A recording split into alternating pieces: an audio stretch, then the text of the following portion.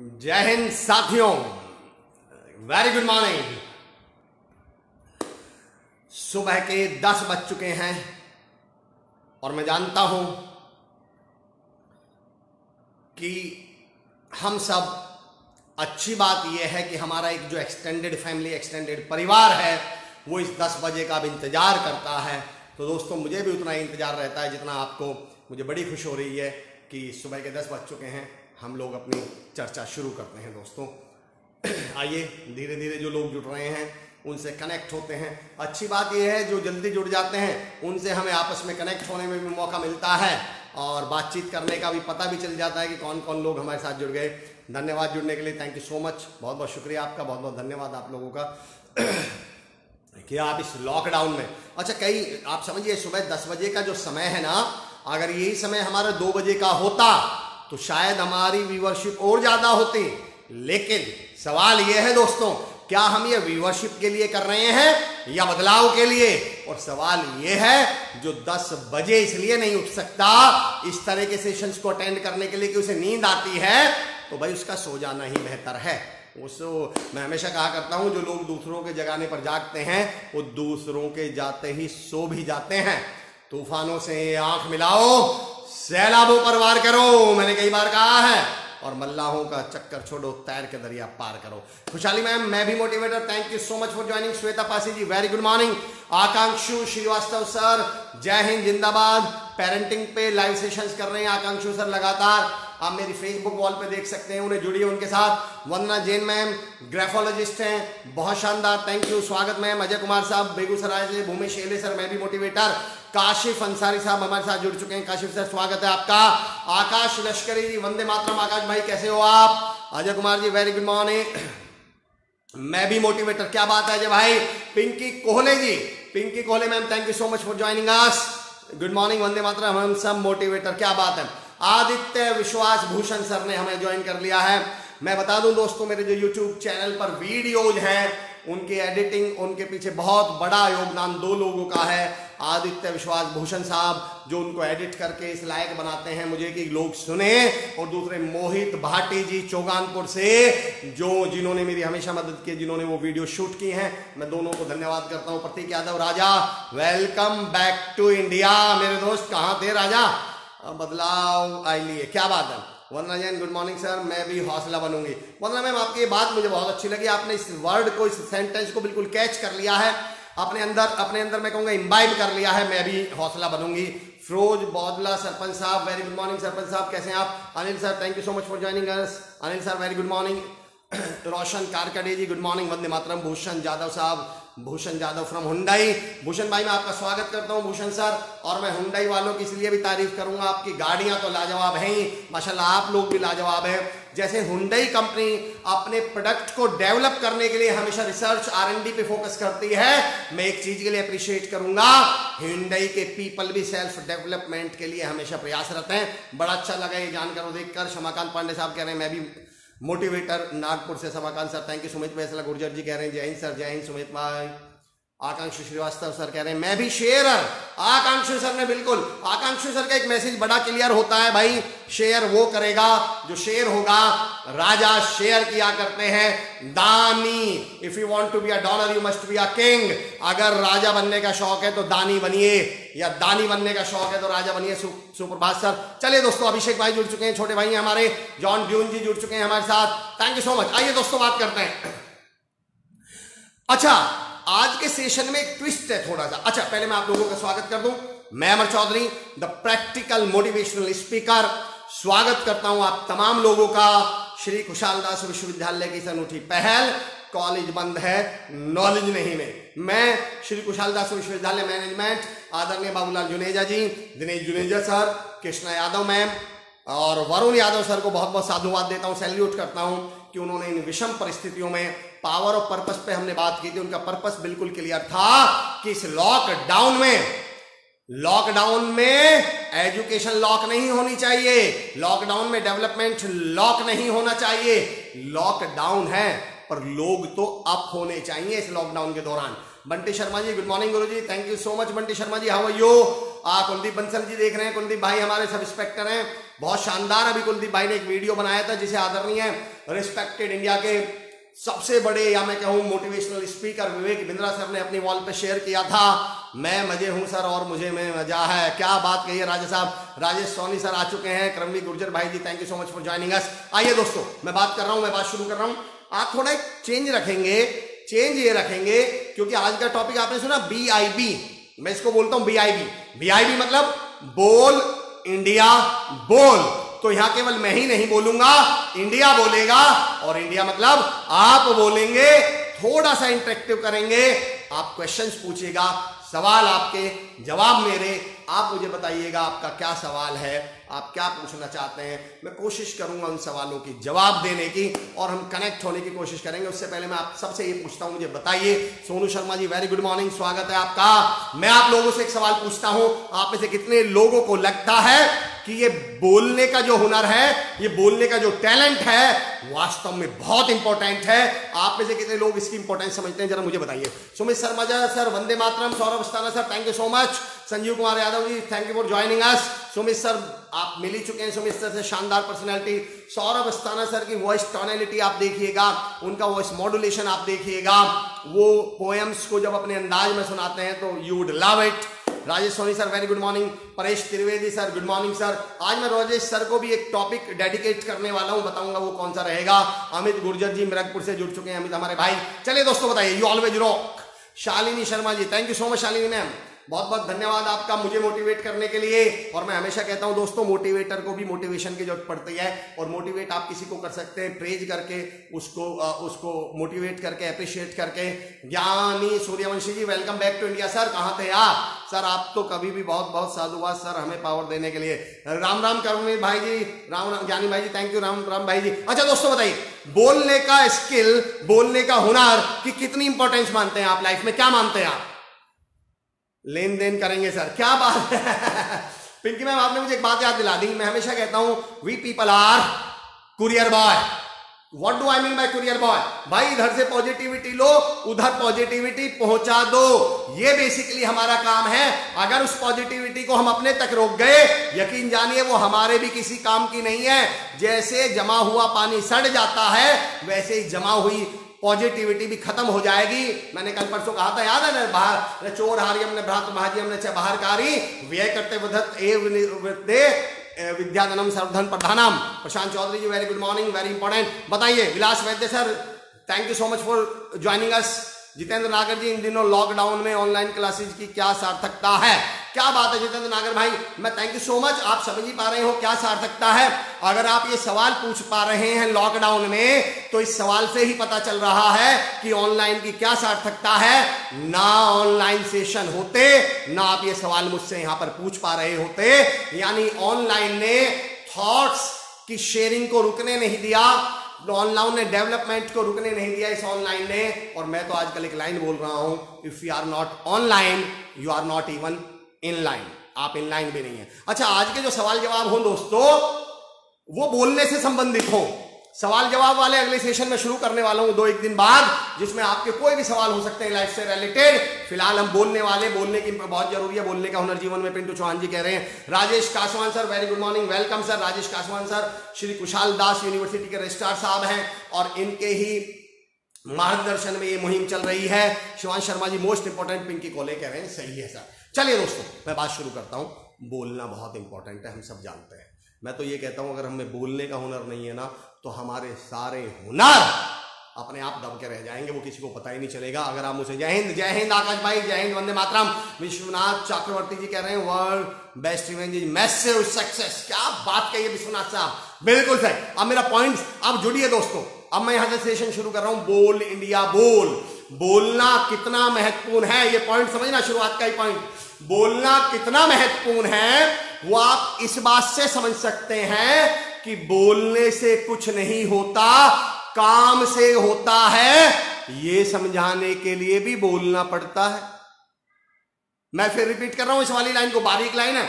आप लोगों को मैं बहुत अच्छी ऑडियंस बहुत समझदार ऑडियंस मानता हूँ तो इसलिए कभी कभी बारीक बातें आपसे बोल देता हूँ, फिर रिपीट कर रहा हूँ, सुनना, बोलने का हुनर कितना महत्वपूर्ण है इस बात से, इस उदाहरण से समझिए। राघवेंद्र भाई ji thank you so much हमारे यहाँ।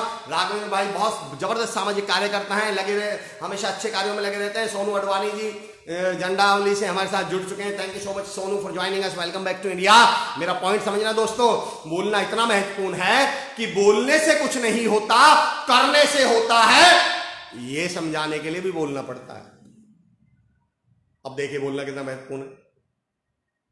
एक बात और मेरे ध्यान रखने दोस्तों, बोलने से कुछ नहीं होता। मैं एक सेशन ले रहा था और हुनर डेवलप किया जा सकता है। गोपाल सिंह सर, क्या बात कही आपने? एक सेशन ले रहा था मैं, जहाँ पे मैं बात कर रहा था इंटरनल कम्युनिकेशन मैंने कहा था याद आपको इंटरनल कम्युनिकेशन मतलब और एक्सटर्नल कम्युनिकेशन से मेरा मतलब ये था इंट्रापर्सनल स्किल्स और इंटरपर्सनल कम्युनिकेशन स्किल्स तो मैं वहाँ बात कर रहा था बोलने के ऊपर। मैंने कहा, बोलना ऐसा शुरू कर दो, आप ये बदलाव आ जाएगा। समझना, मेरा उदाहरण समझना। एक साहब खड़े होके बोले, अरे सर, बोलने से क्या होता है? ये तो सब बोलने की बातें, बोलने से क्या होता है? मैंने कहा, और भाई, नालायक बदतमीज, क्या हाल है तुम्हारे? बोला, ये क्या बदतमीजी आप ऐसे कैसे बोल दिया?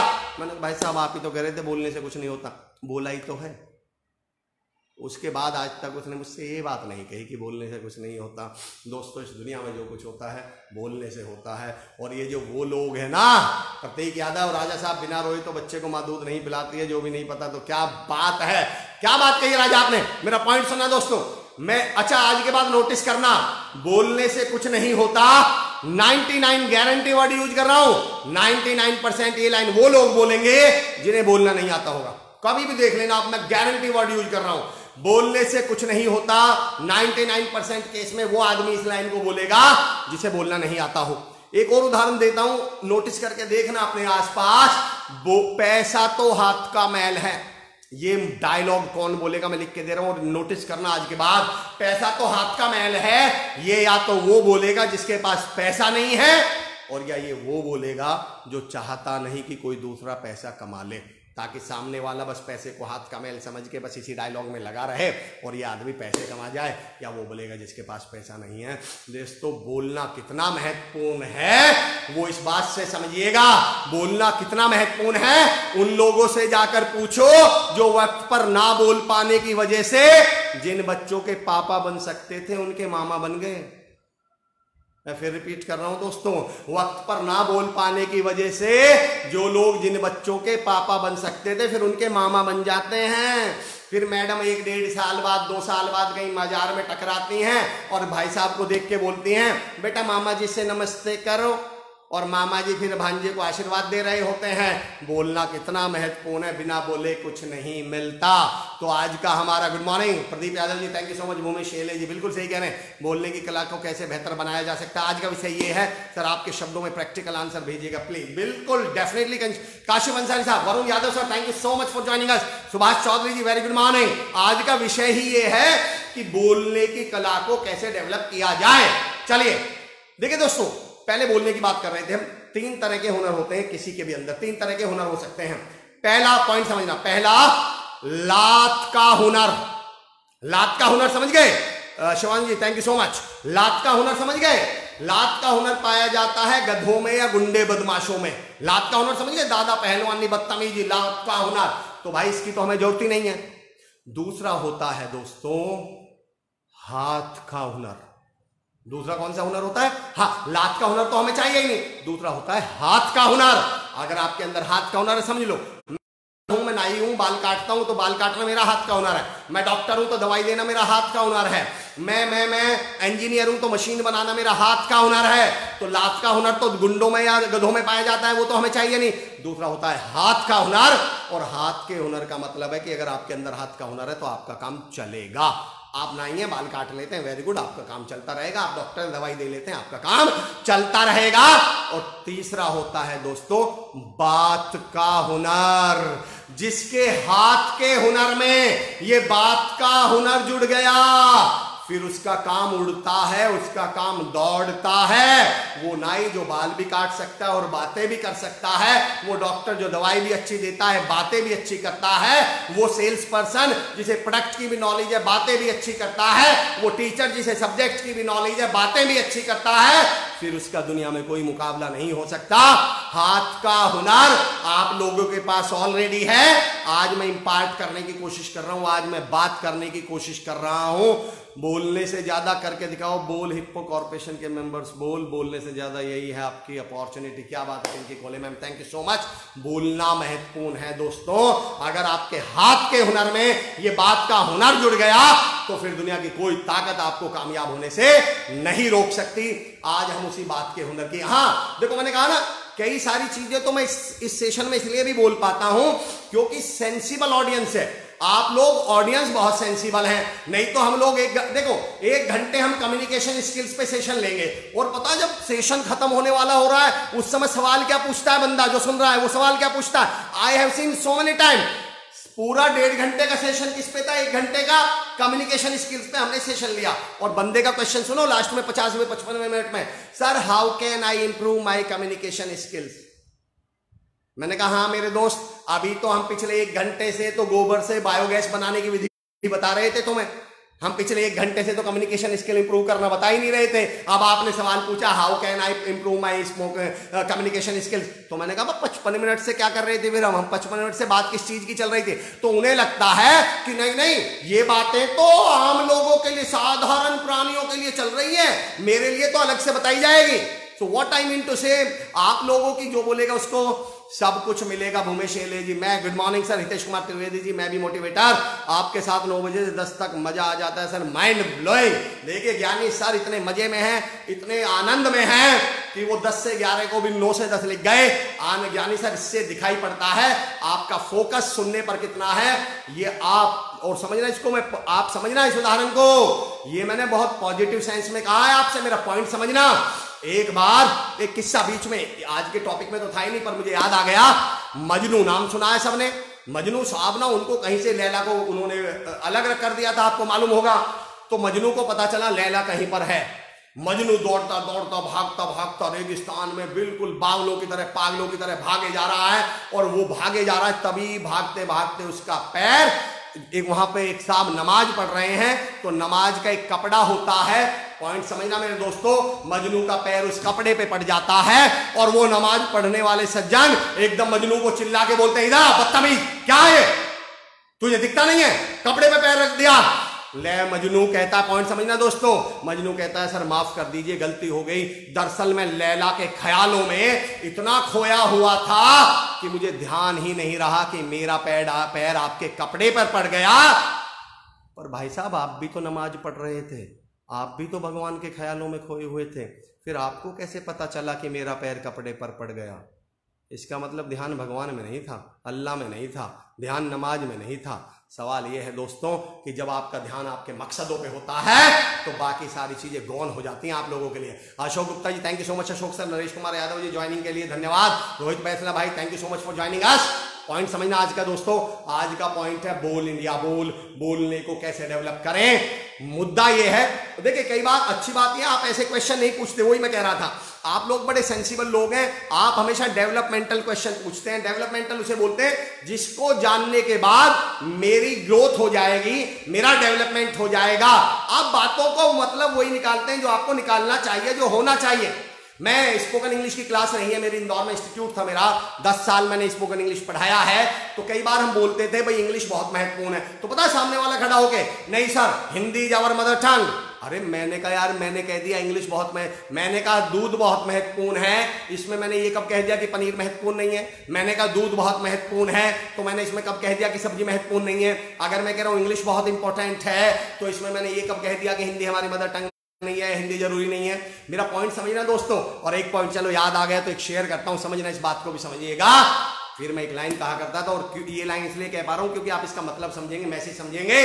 तो फिर मैं कहा करता था, मेरे दोस्त if Hindi is our mother tongue then English is our father tongue मैं आपके सामने इसलिए कह पा रहा हूँ, नहीं तो लोग तो और हमारे पापा कैसे हो जाएँगे? अंग्रेज़ में अंग्रेज़ों की बात नहीं कर रहा हूँ, अंग्रेज़ी की बात कर रहा हूँ। If Hindi is our mother tongue then English is our father tongue अब ये हमारी फादर टंग कैसे हो गई? समझना कैसे हो गई? मैं समझाता हूँ। बताइए, माँ का काम क्या है? मम्मी का काम क्या है? मम्मी का काम है, माँ का काम है संस्कार देना, तमीज देना, तहजीब देना बच्चों को, संस्कारित बनाना। ये हमारी हिंदी लैंग्वेज करती है, हमें संस्कार देती है, तमीज देती है, व्यवहार देती है। और पापा जी का काम क्या है? पापा जी का काम है, घर से बाहर जाना, पैसे कमा के लाना, पैसे कमाना। और हमें पैसे कमाने का काम कौन सी लैंग्वेज करती है? इंग्लिश जॉब दिलवाने का काम, मैं ये नहीं कह रहा हूँ, हिंदी भी करती है, मैं मैं पहले कह चुका हूँ, आप सेंसिबल लोग हैं। इंग्लिश जॉब दिलवाने का काम करती है इंग्लिश प्रमोशन दिलवाने का काम करती है। इंग्लिश हमें ज़्यादा लोगों तक पहुँचाने का काम एक बात और दूसरी बात अगर मैं कहता हूँ कि मैं हिंदी मैं कई बार लोगों से पूछता हूँ कि आप हिंदी इसलिए बोलते हो क्योंकि हिंदी हमारी मदर टंग है इसलिए बोलते हो कि इंग्लिश नहीं आती। एक मैसेज दे रहा हूँ दोस्तों कि मेरा एक दोस्त था हम लोग एक बार we happen to go to Shimla हम शिमला गए अमन नाम था उसका हम शिमला गए तो पीछे से किसी व्यक्ति ने आगे बोला एक्सक्यूज मी वॉट नेम तो अमन बोला आ, मेरा नाम अमन है मेरा पॉइंट समझना अब आप? बोला मेरा नाम अमन है। तो उसे लगा इसको इंग्लिश नहीं आती होगी तो उसने कहा ओ वेरा सॉरी उसने कहा अच्छा भैया, कहाँ के रहने वाले हो? तो अमन बोला actually I am from Delhi तो उसने कहा, यार, बड़ी अजीब बात है। जब मैंने तुमसे इंग्लिश में सवाल पूछा तो तुमने हिंदी में जवाब दिया। मुझे लगा तुम इंग्लिश नहीं आती। मैंने हिंदी में सवाल पूछा तो तुम इंग्लिश में जवाब दे रहे हो। अमन ने कहा, जब तुमने अपनी माँ की इज़्ज़त करी, तुम इंग्लिश में बोले तो मैंने अपनी माँ की इज़्ज़त करी, मैं हिंदी में बोला। और जब तुमने मेरी माँ की इज़्ज़त करी, तुम हिंदी में बोले तो मैंने तुम्हारी माँ की इज़्ज़त करी, मैं इंग्लिश में बोला। मैं ये कह रहा हूँ, दोस्तों, हिंदी बोलने का मज़ा तब है, जब आपको इंग्लिश आती हो, और आप हिंदी बोले, तब कहिएगा, अगर आती नहीं है तो मजबूरी है। सुमित सर, प्रवीण कुमार राजभर सर, जितने भी लोग यहाँ पे आकांक्षु सर, जितने भी लोग मेरे साथी यहाँ जुड़े हुए हैं पूछिए, बारह साल इंग्लिश पढ़ाई है बीस साल से इंग्लिश बोलना जानता हूँ। आज भी बैंक में विड्रॉल का फॉर्म हिंदी में भरता हूँ। होटल के रजिस्टर में आज भी नाम हिंदी में लिखता हूँ। सेमिनार अटेंड करते समय only I am the only one जिसको अगर पचास लोग वहाँ हैं तो केवल हिंदी में मेरा नाम लिखा मिलेगा, अमर चौधरी। लेकिन वो हिंदी बोलना मेरी मजबूरी नहीं है, मेरा डिसीज़न है, मेरी इच्छा है। इसलिए मैं हमेशा कहता हूँ कि क्षमा शोभती उस भुजंग को, जिसके पास गरल हो, और उसका क्या जो दंतहीन, विषहीन, विनीत सरल हो क्षमा भी उसको शोभती है, उस सांप को शोभती है, जिसमें जहर हो। आप रास्ते में से मुझे बाहर जाना है और दरवाजे पे एनाकोंडा पड़ा हुआ है और एनाकोंडा मुझसे बोलता है, जा अमर, तुझे माफ़ किया, निकल जा। ये उसका बड़प्पन है। और वहाँ दरवाजे पे प्लास्टिक का सांप पड़ा है वो मुझसे कहे, जा अमर, तुझे माफ़ किया, निकल जा, तू कर क्या लेगा बे? तू कौन है मुझे माफ़ करने वाला? क्षमा शोभती उस भुजंग को जिसके पास गरल हो, और उसका क्या जो दंतहीन, विषहीन विनी सरल हो? हिंदी हमारी मदर टंग है।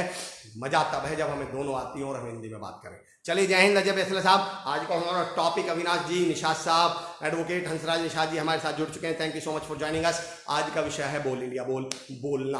बोलने के दो तीन पॉइंट पे बात कर रहा हूँ। सबसे पहले बोलने का पॉइंट है। गुड मॉर्निंग प्रवीण सिंह तोमर साहब। वेरी गुड मॉर्निंग पहला और सबसे महत्वपूर्ण जो पॉइंट हमारे सामने उठाया जाता है, सर, हमें बोलते हुए डर लगता है।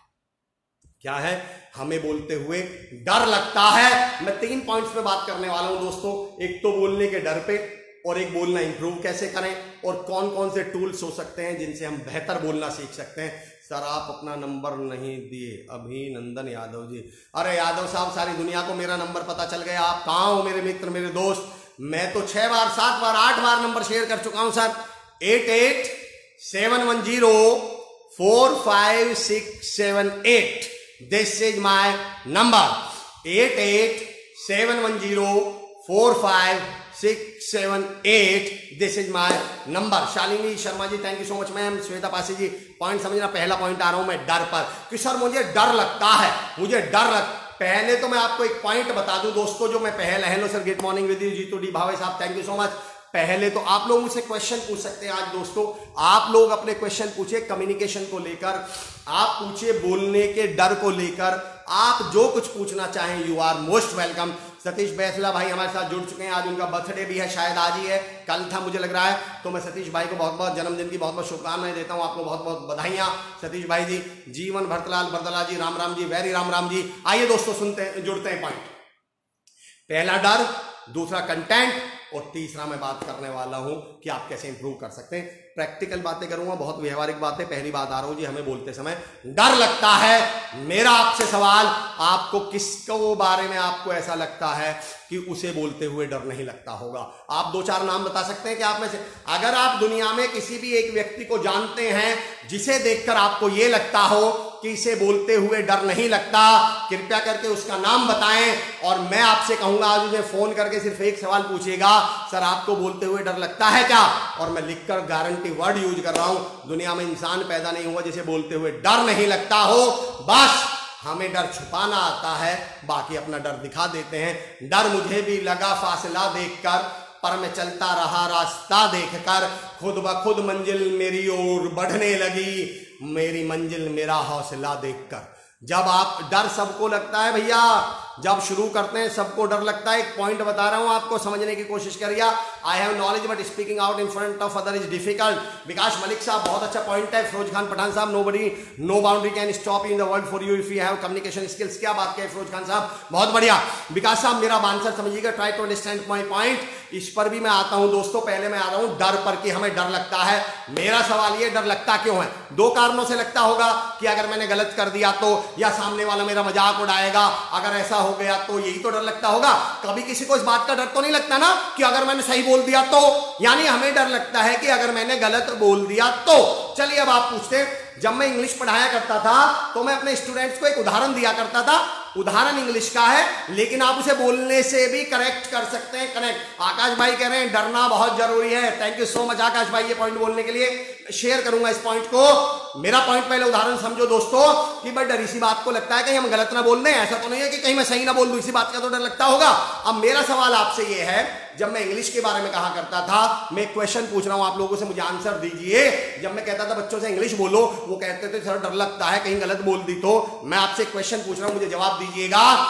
कितने प्रतिशत भारतीय इंग्लिश में बात करते हैं या कितने इंग्लिश बोलते हैं? आप मुझे आंसर दे सकता है? कोई आइडिया लगा सकता है?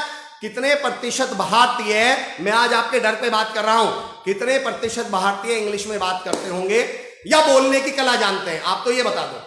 कितने प्रतिशत भारत इंग्लिश और बोलने की कला यहाँ बराबर समझिएगा।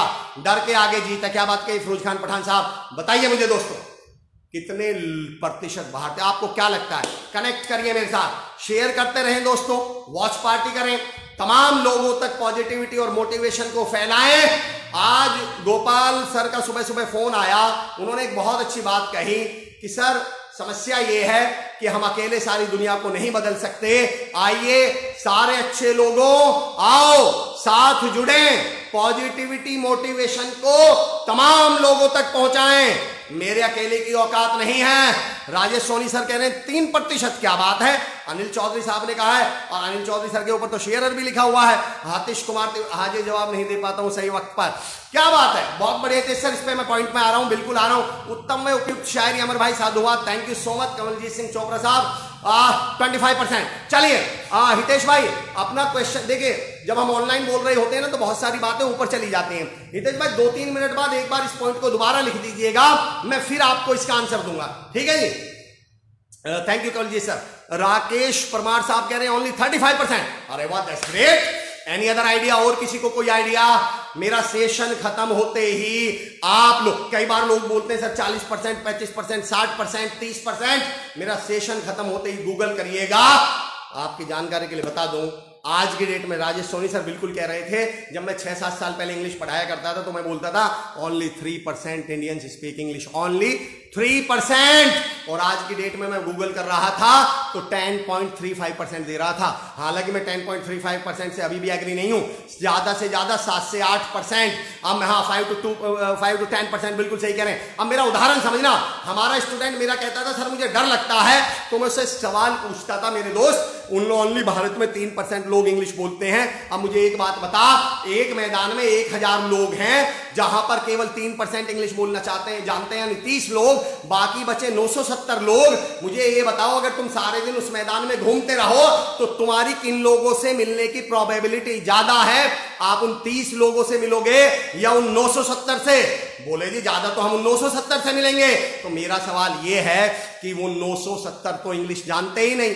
वो तीन परसेंट को इंग्लिश आती है 97 परसेंट को आती नहीं। ये 97 परसेंट के सामने आपने गलत भी बोल दिया तो ये तुम्हारा बिगाड़ क्या लेंगे? इन्हें तो आती ही नहीं है। मेरा पॉइंट समझ रहे सर? ये सत्तानवे प्रतिशत तो तुम्हारा कुछ बिगाड़ नहीं सकते, क्योंकि इन्हें इंग्लिश आती नहीं, और उन तीन परसेंट में से भी एक परसेंट हमारे जैसे हैं दोस्तों। हमारे जैसे समझ गए? हमारे जैसे का मतलब समझ गए? हम कैसे इंग्लिश बोलते हैं? हाउ इज़ यू यू के साथ आना तो आर चाहिए, पर हम तो गलत बोल रहे हैं। हाउ इज़ यू तो सामने वाला भी कौन है? आई आर फाइन अगर तुम यू के साथ इज़ लगा रहे हो तो वो भी आई के साथ आर लगा रहा है भैया। तो इन तीन परसेंट में से भी एक परसेंट हमारे जैसे हैं, जो हमारा कुछ बिगाड़ नहीं सकते। मैं जो उदाहरण दे रहा हूँ, वो समझना। बचे दो परसेंट लोग। ये दो परसेंट वो डॉक्टर्स हैं, वो इंजीनियर्स हैं, वो जनरल मैनेजर्स हैं, वो आई ऑफिसर्स हैं। वो कॉलेज के प्रिंसिपल्स हैं आपके कंपनी के मैनेजमेंट हैं, जो वहाँ मज़ाक उड़ाने के लिए नहीं बैठे हुए हैं, तुम्हारे टांग खींचने के लिए नहीं बैठे हुए हैं, तुम्हें सपोर्ट करने के लिए बैठे हुए हैं। ये दो परसेंट किसी का मज़ाक उड़ाते नहीं और बाकी के सत्तानवे प्रतिशत की औकात नहीं कि मज़ाक उड़ा दे। तो मैंने कहा, फिर तुम्हें डर किससे लगता है? दरअसल एक लाइन बोल रहा हूँ दोस्तों, एक लाइन बोल रहा हूँ, इसे बड़ी बारीकी से समझना। हमने अपने आलस्य हमने अपनी लापरवाही और हमने अपनी प्रैक्टिस ना करने की आदत को डर का नाम दिया हुआ है। मैं फिर रिपीट कर रहा हूँ इस सेंटेंस को। सेंटेंस को समझना मेरे दोस्तों, मैं फिर रिपीट कर रहा हूँ। हमने अपने आलस्य, अपनी लापरवाही और अपने प्रैक्टिस ना करने की आदत को डर का नाम दिया हुआ है। अब जब हम किसी को स्टेज पे बुलाते हैं तो बोलता सर, मुझे डर लगता है। वही लड़का 120 की स्पीड पे बाइक चलाता है। उसे डर क्यों नहीं लगता? स्टेज पे आके तो आज तक भी कोई नहीं मरा। बाइक पे तो हज़ारों, लाखों लोग मरे हैं। फिर उसे 120 की स्पीड पे बाइक चलाते हुए डर क्यों नहीं लगा? उसे स्टेज पे आकर बोलते हुए डर क्यों लगा? कारण बताता हूँ। 120 की स्पीड पे बाइक चलाने के लिए हाथ बस यूँ करना पड़ता है। ना प्रैक्टिस की ज़रूरत है, ना आपको एफर्ट लगाने की ज़रूरत है, ना सुबह जल्दी उठने की ज़रूरत है, ना मेहनत करने की ज़रूरत है। पर उस स्टेज पर आकर बोलने के लिए आपको तैयारी भी करनी पड़ेगी, आपको कंटेंट भी तैयार करना पड़ेगा, प्रैक्टिस भी करनी पड़ेगी, किताबें भी पढ़नी पड़ेगी, सुनना भी पड़ेगा। और इतना कौन कष्ट उठाए यार? सिंपली बोल दो कि हमें तो डर लगता है, जय माता दी, ना कोई बुलाएगा, ना हम जाएँगे। डर नहीं लगता हमें। हमने अपने आलस से लापरवाही। आप मुझे बताइए, तैरने से किसको डर लगता होगा? उसी को तो लगता होगा जिसको तैरना नहीं आता होगा। और मेरा क्वेश्चन ये है, जब तुम्हें तैरना नहीं आता था तो अच्छा बताइए, तैरने से डर कब लगता है? जब तैरना नहीं आता, या तैरने वाले को भी डर लगता है? अब मेरा सवाल आपसे ये है कि मुझे ये बताओ, अगर मुझे तैरने का डर दूर करना है तो क्या कर लू? तैरना सीख लू। डर खत्म हो जाएगा। अगर मुझे बोलने से डर लगता है तो क्या कर लू? बोलना सीख लू। अब सवाल ये दिक्कत ये है, जब हम बोलना सीखने, जय माता दी, वाह। Lovely perspective indeed. Will help deal with stage fright in english speaking. Kawaljeet Singh Chopra साहब थैंक यू सो मच जो डर गया वो मर गया। नहीं पिंकी मैम मैं कहता हूँ जो डर गया वो जी गया। आप कृपया करके मेरी बात को समझने की कोशिश करिएगा। ए, एक चीज़ और बता दूँ मैं दोस्तों आपको कृपया करके समझिए। अब मैं तीन चार पाँच मिनट जिस विषय पे बात करूँगा ये मेरा फेवरेट टॉपिक है डर वाला। इसको समझिएगा। लोग अक्सर कहते हैं सर मुझे डर लगता है। मैं ये कहता हूँ भाई एक बात समझ लो। पहले चेक करो, तुम्हें डर यानी फियर लगता है।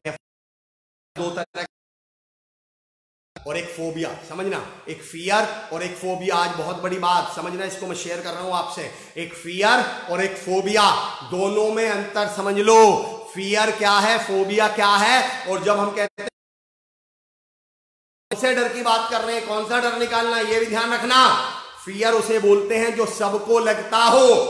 फोबिया तो मुझे लगता उदाहरण दे रहा हूँ। आप में से कितने लोग हैं? मुझे आंसर दीजिएगा। आप में से कितने लोग हैं जिन्हें दसवीं मंजिल से कूदते हुए डर लगता है? आंसर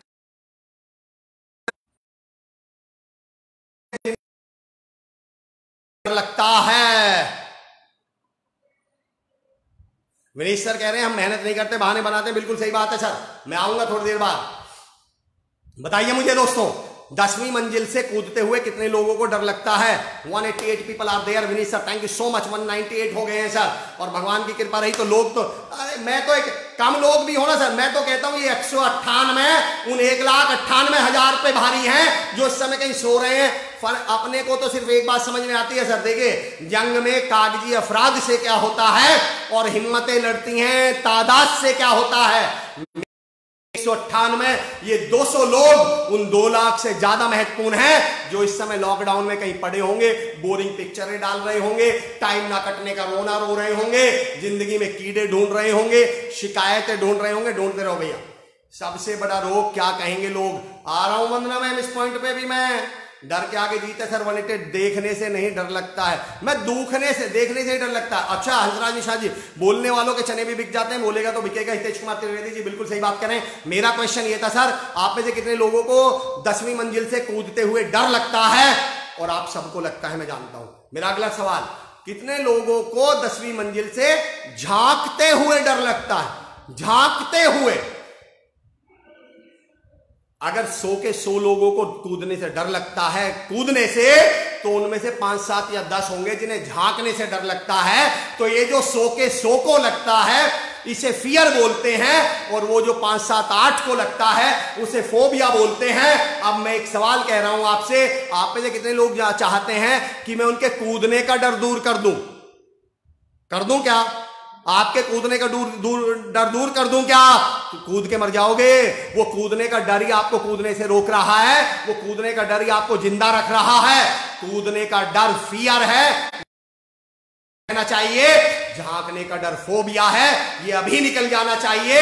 मुझे स्टेज पे आते हुए डर लगता है, ये फोबिया है। और यार, स्टेज पे इमेज का सवाल है, ये फियर है। ये फियर 24 घंटे होना चाहिए। मैं तो अपने लिए हमेशा बोलता हूँ, आज भी जब मैं बोलने आता हूँ 10 बजे तो उससे तीन बार पहले तो भगवान जी के हाथ जोड़ के आता हूँ, तीन बार। और मेरी वाइफ बोलती अभी इतना डरते हो, दस साल हो गए। तैयारी करते हुए देखती है ना तो माथा पकड़ बोलने के लिए छह और फिर वो देखती है, मैं पढ़ के आ रहा हूँ। वही बातें जो मैं दस साल से बोल रहा हूँ, वो बोलते हैं, दस बार तो आप पहले भी बोल चुके हो। इसकी कौन सी तैयारी कर रहे हो? मैं कहता हूँ, नीतू, जब तक मैं डर रहा हूँ, जब तक मुझे इस बात का डर है कि मुझे हज़ारों लोग देख रहे होंगे, मैं ऑनलाइन हूँ, लाखों लोग सुन रहे होंगे, मेरी इमेज का सवाल है, मैं उनको मेरा बोलना कैसा लगेगा, वो मुझे प्रभावित, तब तक ये डर मुझे काम कर रहा है फियर को कभी मन से मत निकलने दो फोबिया को अभी निकाल दो। Akash Lashkari sir, no sir hundred percent लोगों को दसवीं मंजिल से कूदने में डर लगता है तो ये डर होना ज़रूरी है। ये डर ही तो हमें कामयाब करता है। मैं एक उदाहरण दिया करता था डर के ऊपर, कि दसवीं क्लास में आते ही बच्चा पढ़ने क्यों लगता है? डर की वजह से दिल्ली में सारे लोग हेलमेट क्यों पहनते? इंदौर में तो नहीं पहनते, हनुमानगढ़ में तो नहीं पहनते, जलंधर में तो नहीं पहनते। उनकी अकल डाढ़ हमसे पहले नहीं निकल गई है। वो डर है, छह सौ रुपए का चालान कट जाएगा। डर! हमें हमेशा आगे बढ़ाएगा। एक मूवी है इंटरनेशनल राउडी उसमें एक उदाहरण है, एक सीन आता है कि ज़्यादा ताकतवर होते नोटिस कर लेना। आप किसी माँ की गोद से उसके बच्चे को छीनने की कोशिश करिएगा। उस माँ को उस समय आप सबसे ताकतवर पाएँगे, उस डरी हुई माँ को आपको तो वो दबली पुतली पैंतीस किलो की ऐसे लग रही थी, मैं तो यूँ ही छीन लूँगा। अपना बच्चा छीनने नहीं दिया उसने। उसमें ताकत कहाँ से आ गई? बना दिया। डर हमें ताकतवर बनाता है। फोबिया हमें कमज़ोर बनाता है। डरना नहीं।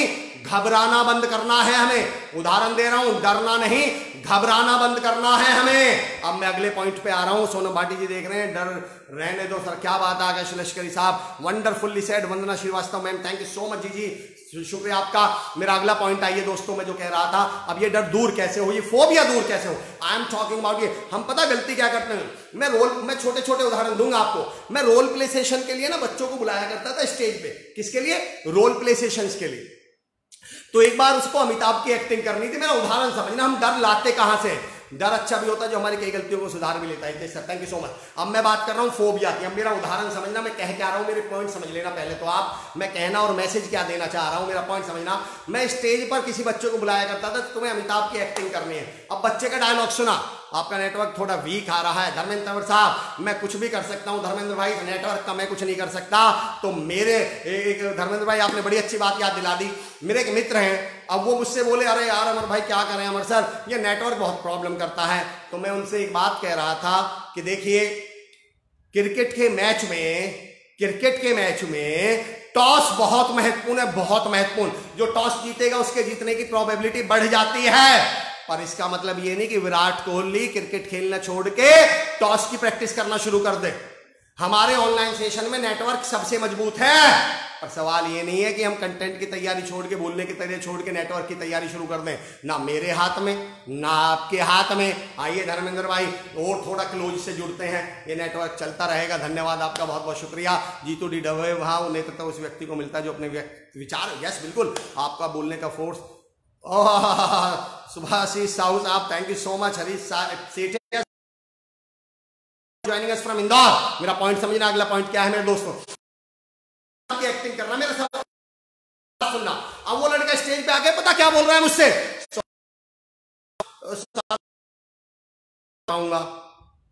मैंने कहा मतलब? बोले, सर ना, मैं अमिताभ जैसे एक्टिंग नहीं कर पाऊँगा। मैंने कहा, तुम कह रहे हो मैं अमिताभ जैसे एक्टिंग नहीं कर पाऊँगा। मैं ये पूछ रहा हूँ, तुम अमिताभ जैसे एक्टिंग करोगे क्यों? मैंने कहा, अमिताभ की एक्टिंग करनी है। अमिताभ जैसी एक्टिंग नहीं,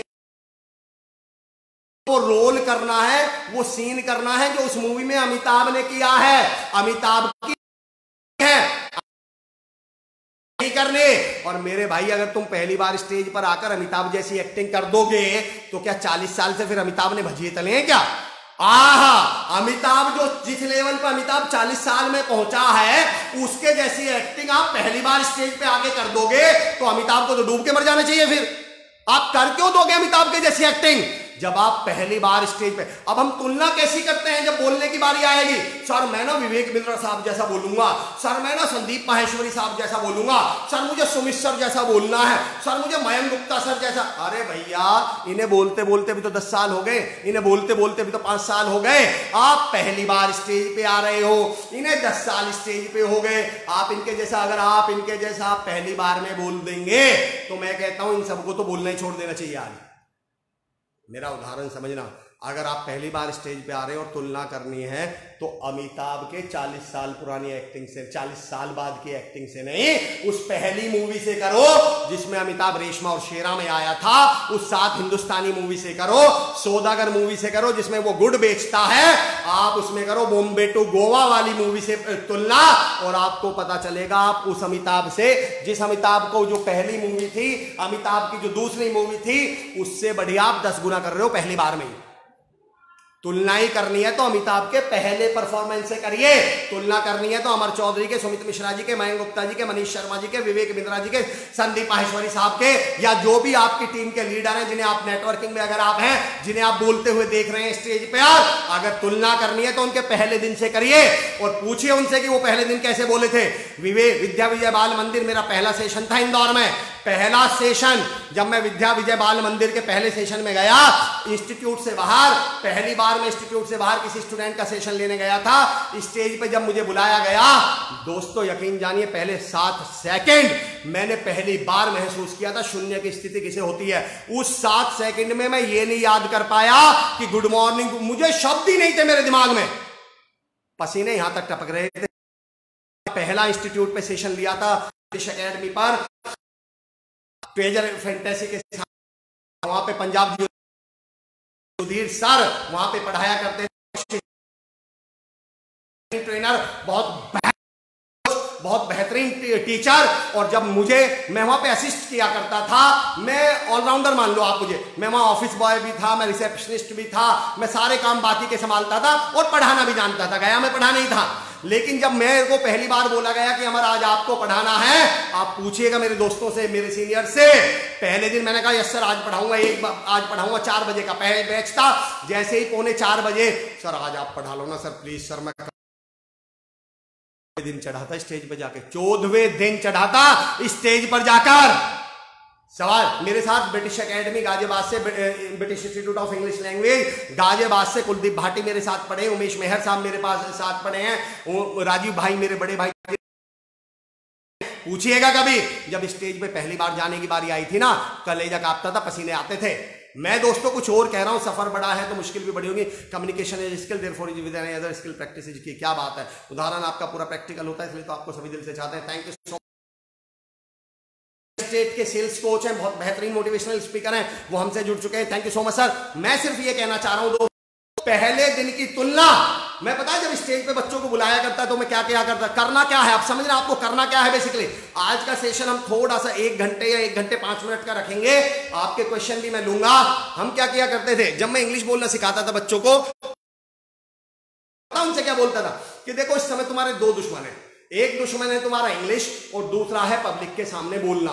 अगर तुम दो लोगों से एक साथ लड़ोगे तो भाई तुम हार जाओगे।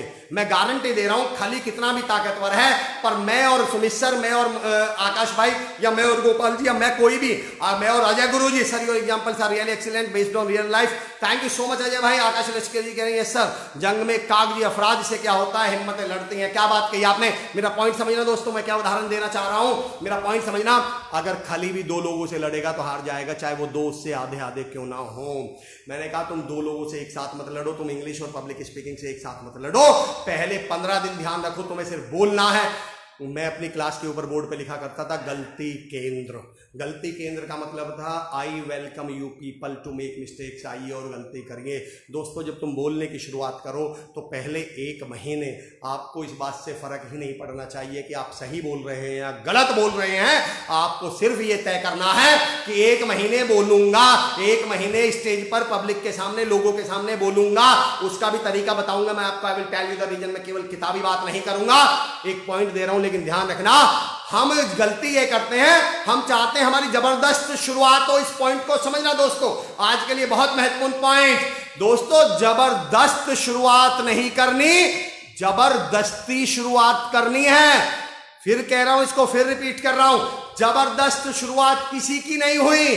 ज़बरदस्त शुरुआत नहीं करनी, ज़बरदस्ती शुरुआत करनी है। और जिन जिन लोगों की अपने अपने करियर में ज़बरदस्त शुरुआतें हुई, वो आज कहाँ हैं पता भी नहीं चलता। पहली मूवी राहुल रॉय सुपरहिट गायब हो गए। कुमार गौर, गौरव ज़बरदस्त स्टार्ट गायब हो गए।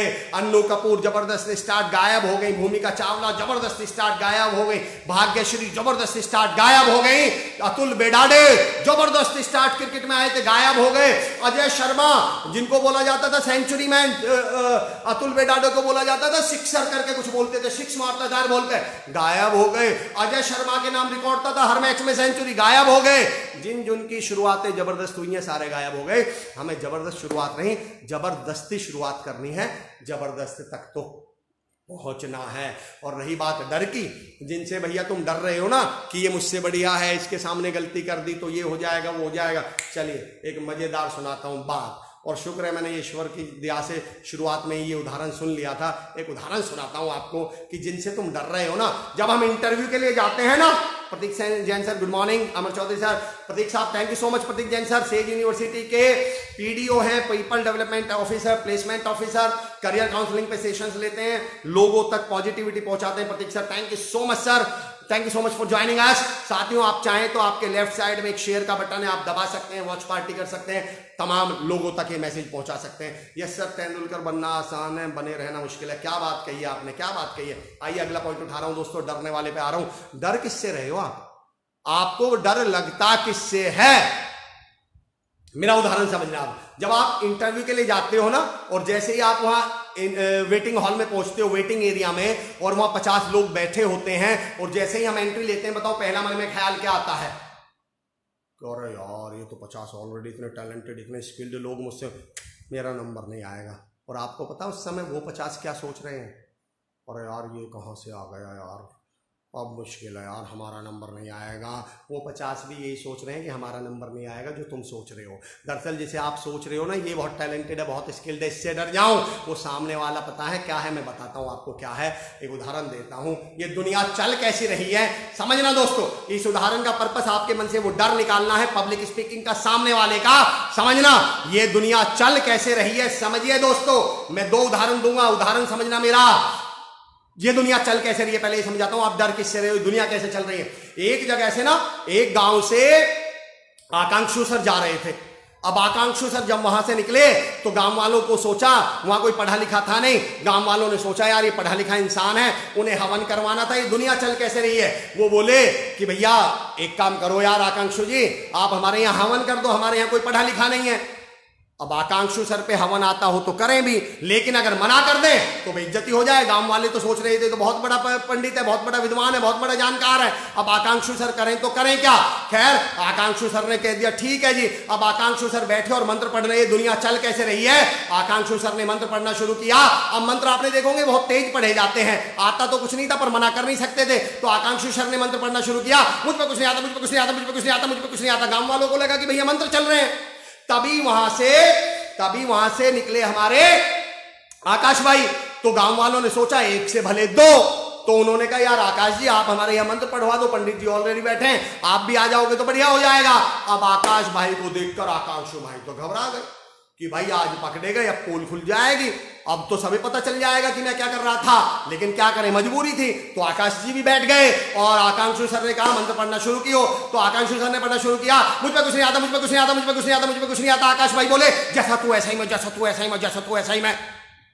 ये दुनिया चल कैसी रही है? दोस्तों, मैं ये बताना चाह रहा हूँ कि ये दुनिया चल कैसे रही है? ये दुनिया चल कैसे रही है? जिनसे आप डर रहे हो वो कौन है? तो आकांक्षी सर ने कहा मुझे कुछ नहीं आता मुझे कुछ नहीं आता मुझे कुछ नहीं आता। आकाश भाई बोले जैसा तू ऐसे में जैसा तू ऐसे में जैसा तू ऐसे में। वहीं से अमर चौधरी जी गुजर रहे थे। गाँव वालों को लगा कि अरे भाई यार ये तो बड़ा विद्वान है इस पर तो सूट भी है ये तो सूट में। ये कोई ज़्यादा ही प्रखंड पंडित है कि यार इनको बुला लेते हैं। आ, उन्होंने कहा अमर जी हमारे यहाँ हवन करवा दो। अब अमर जी को देखकर दोनों घबरा गए कि भैया आज पकड़े गए अब तो पोल खुल जाएगी। पर मजबूरी है, करें क्या? तो खैर आकांक्षी सर ने मंत्र पढ़ना शुरू किया। मुझे कुछ नहीं आता मुझे कुछ नहीं आता मुझे कुछ नहीं आता आकाश भाई बोले, जैसा तू, ऐसा में, जैसा तू, ऐसा में, जैसा तू, ऐसा में। अमर बोला, ऐसा कब तक चलेगा, ऐसा कब तक चलेगा, ऐसा कब तक चलेगा? अमर भी पूछ रहा है, ऐसा कब तक चलेगा, अमर, ऐसा कब तक चलेगा? अब वहाँ से सुमित सर निकले। अब सुमित सर को देख के तो पर्सनैलिटी को देख के, व्यक्तित्व को देख के कि भैया, ये तो प्रकांड पंडित आ गए। गाँव वालों ने सोचा, तीन तिगाड़ा, काम बिगाड़ा, चौथे को भी बुला लेते हैं। उन्होंने कहा, सर, हमारे यहाँ आप हवन करवा दीजिए। अब सुमित सर को आ गए और तीनों सुमित सर को देख के घबरा गए। हमारा आकाश और आकांक्षु जी की बेटा आज तो पिटेंगे, अब पोल खुलने वाली है। पर मजबूरियाँ करें क्या? तो आकांक्षु सर ने मंत्र पढ़ने शुरू किए। मुझे कुछ नहीं आता, मुझे कुछ नहीं आता, मुझे कुछ नहीं आता। आकाश, कोई बोले, जैसा तो ऐसा में, जैसा तो ऐसा में, जैसा तो ऐसा में। अमर बोला, ऐसा कब तक चलेगा, ऐसा कब तक चलेगा, ऐसा कब तक चलेगा? सुमित सर बोले, जब तक चले, चलाए जाओ, जब तक चले चलाए जाओ, जब तक चले चलाए जाओ। दोस्तों, ये दुनिया ऐसे ही चल रही है, जब तक चले चलाए जाओ।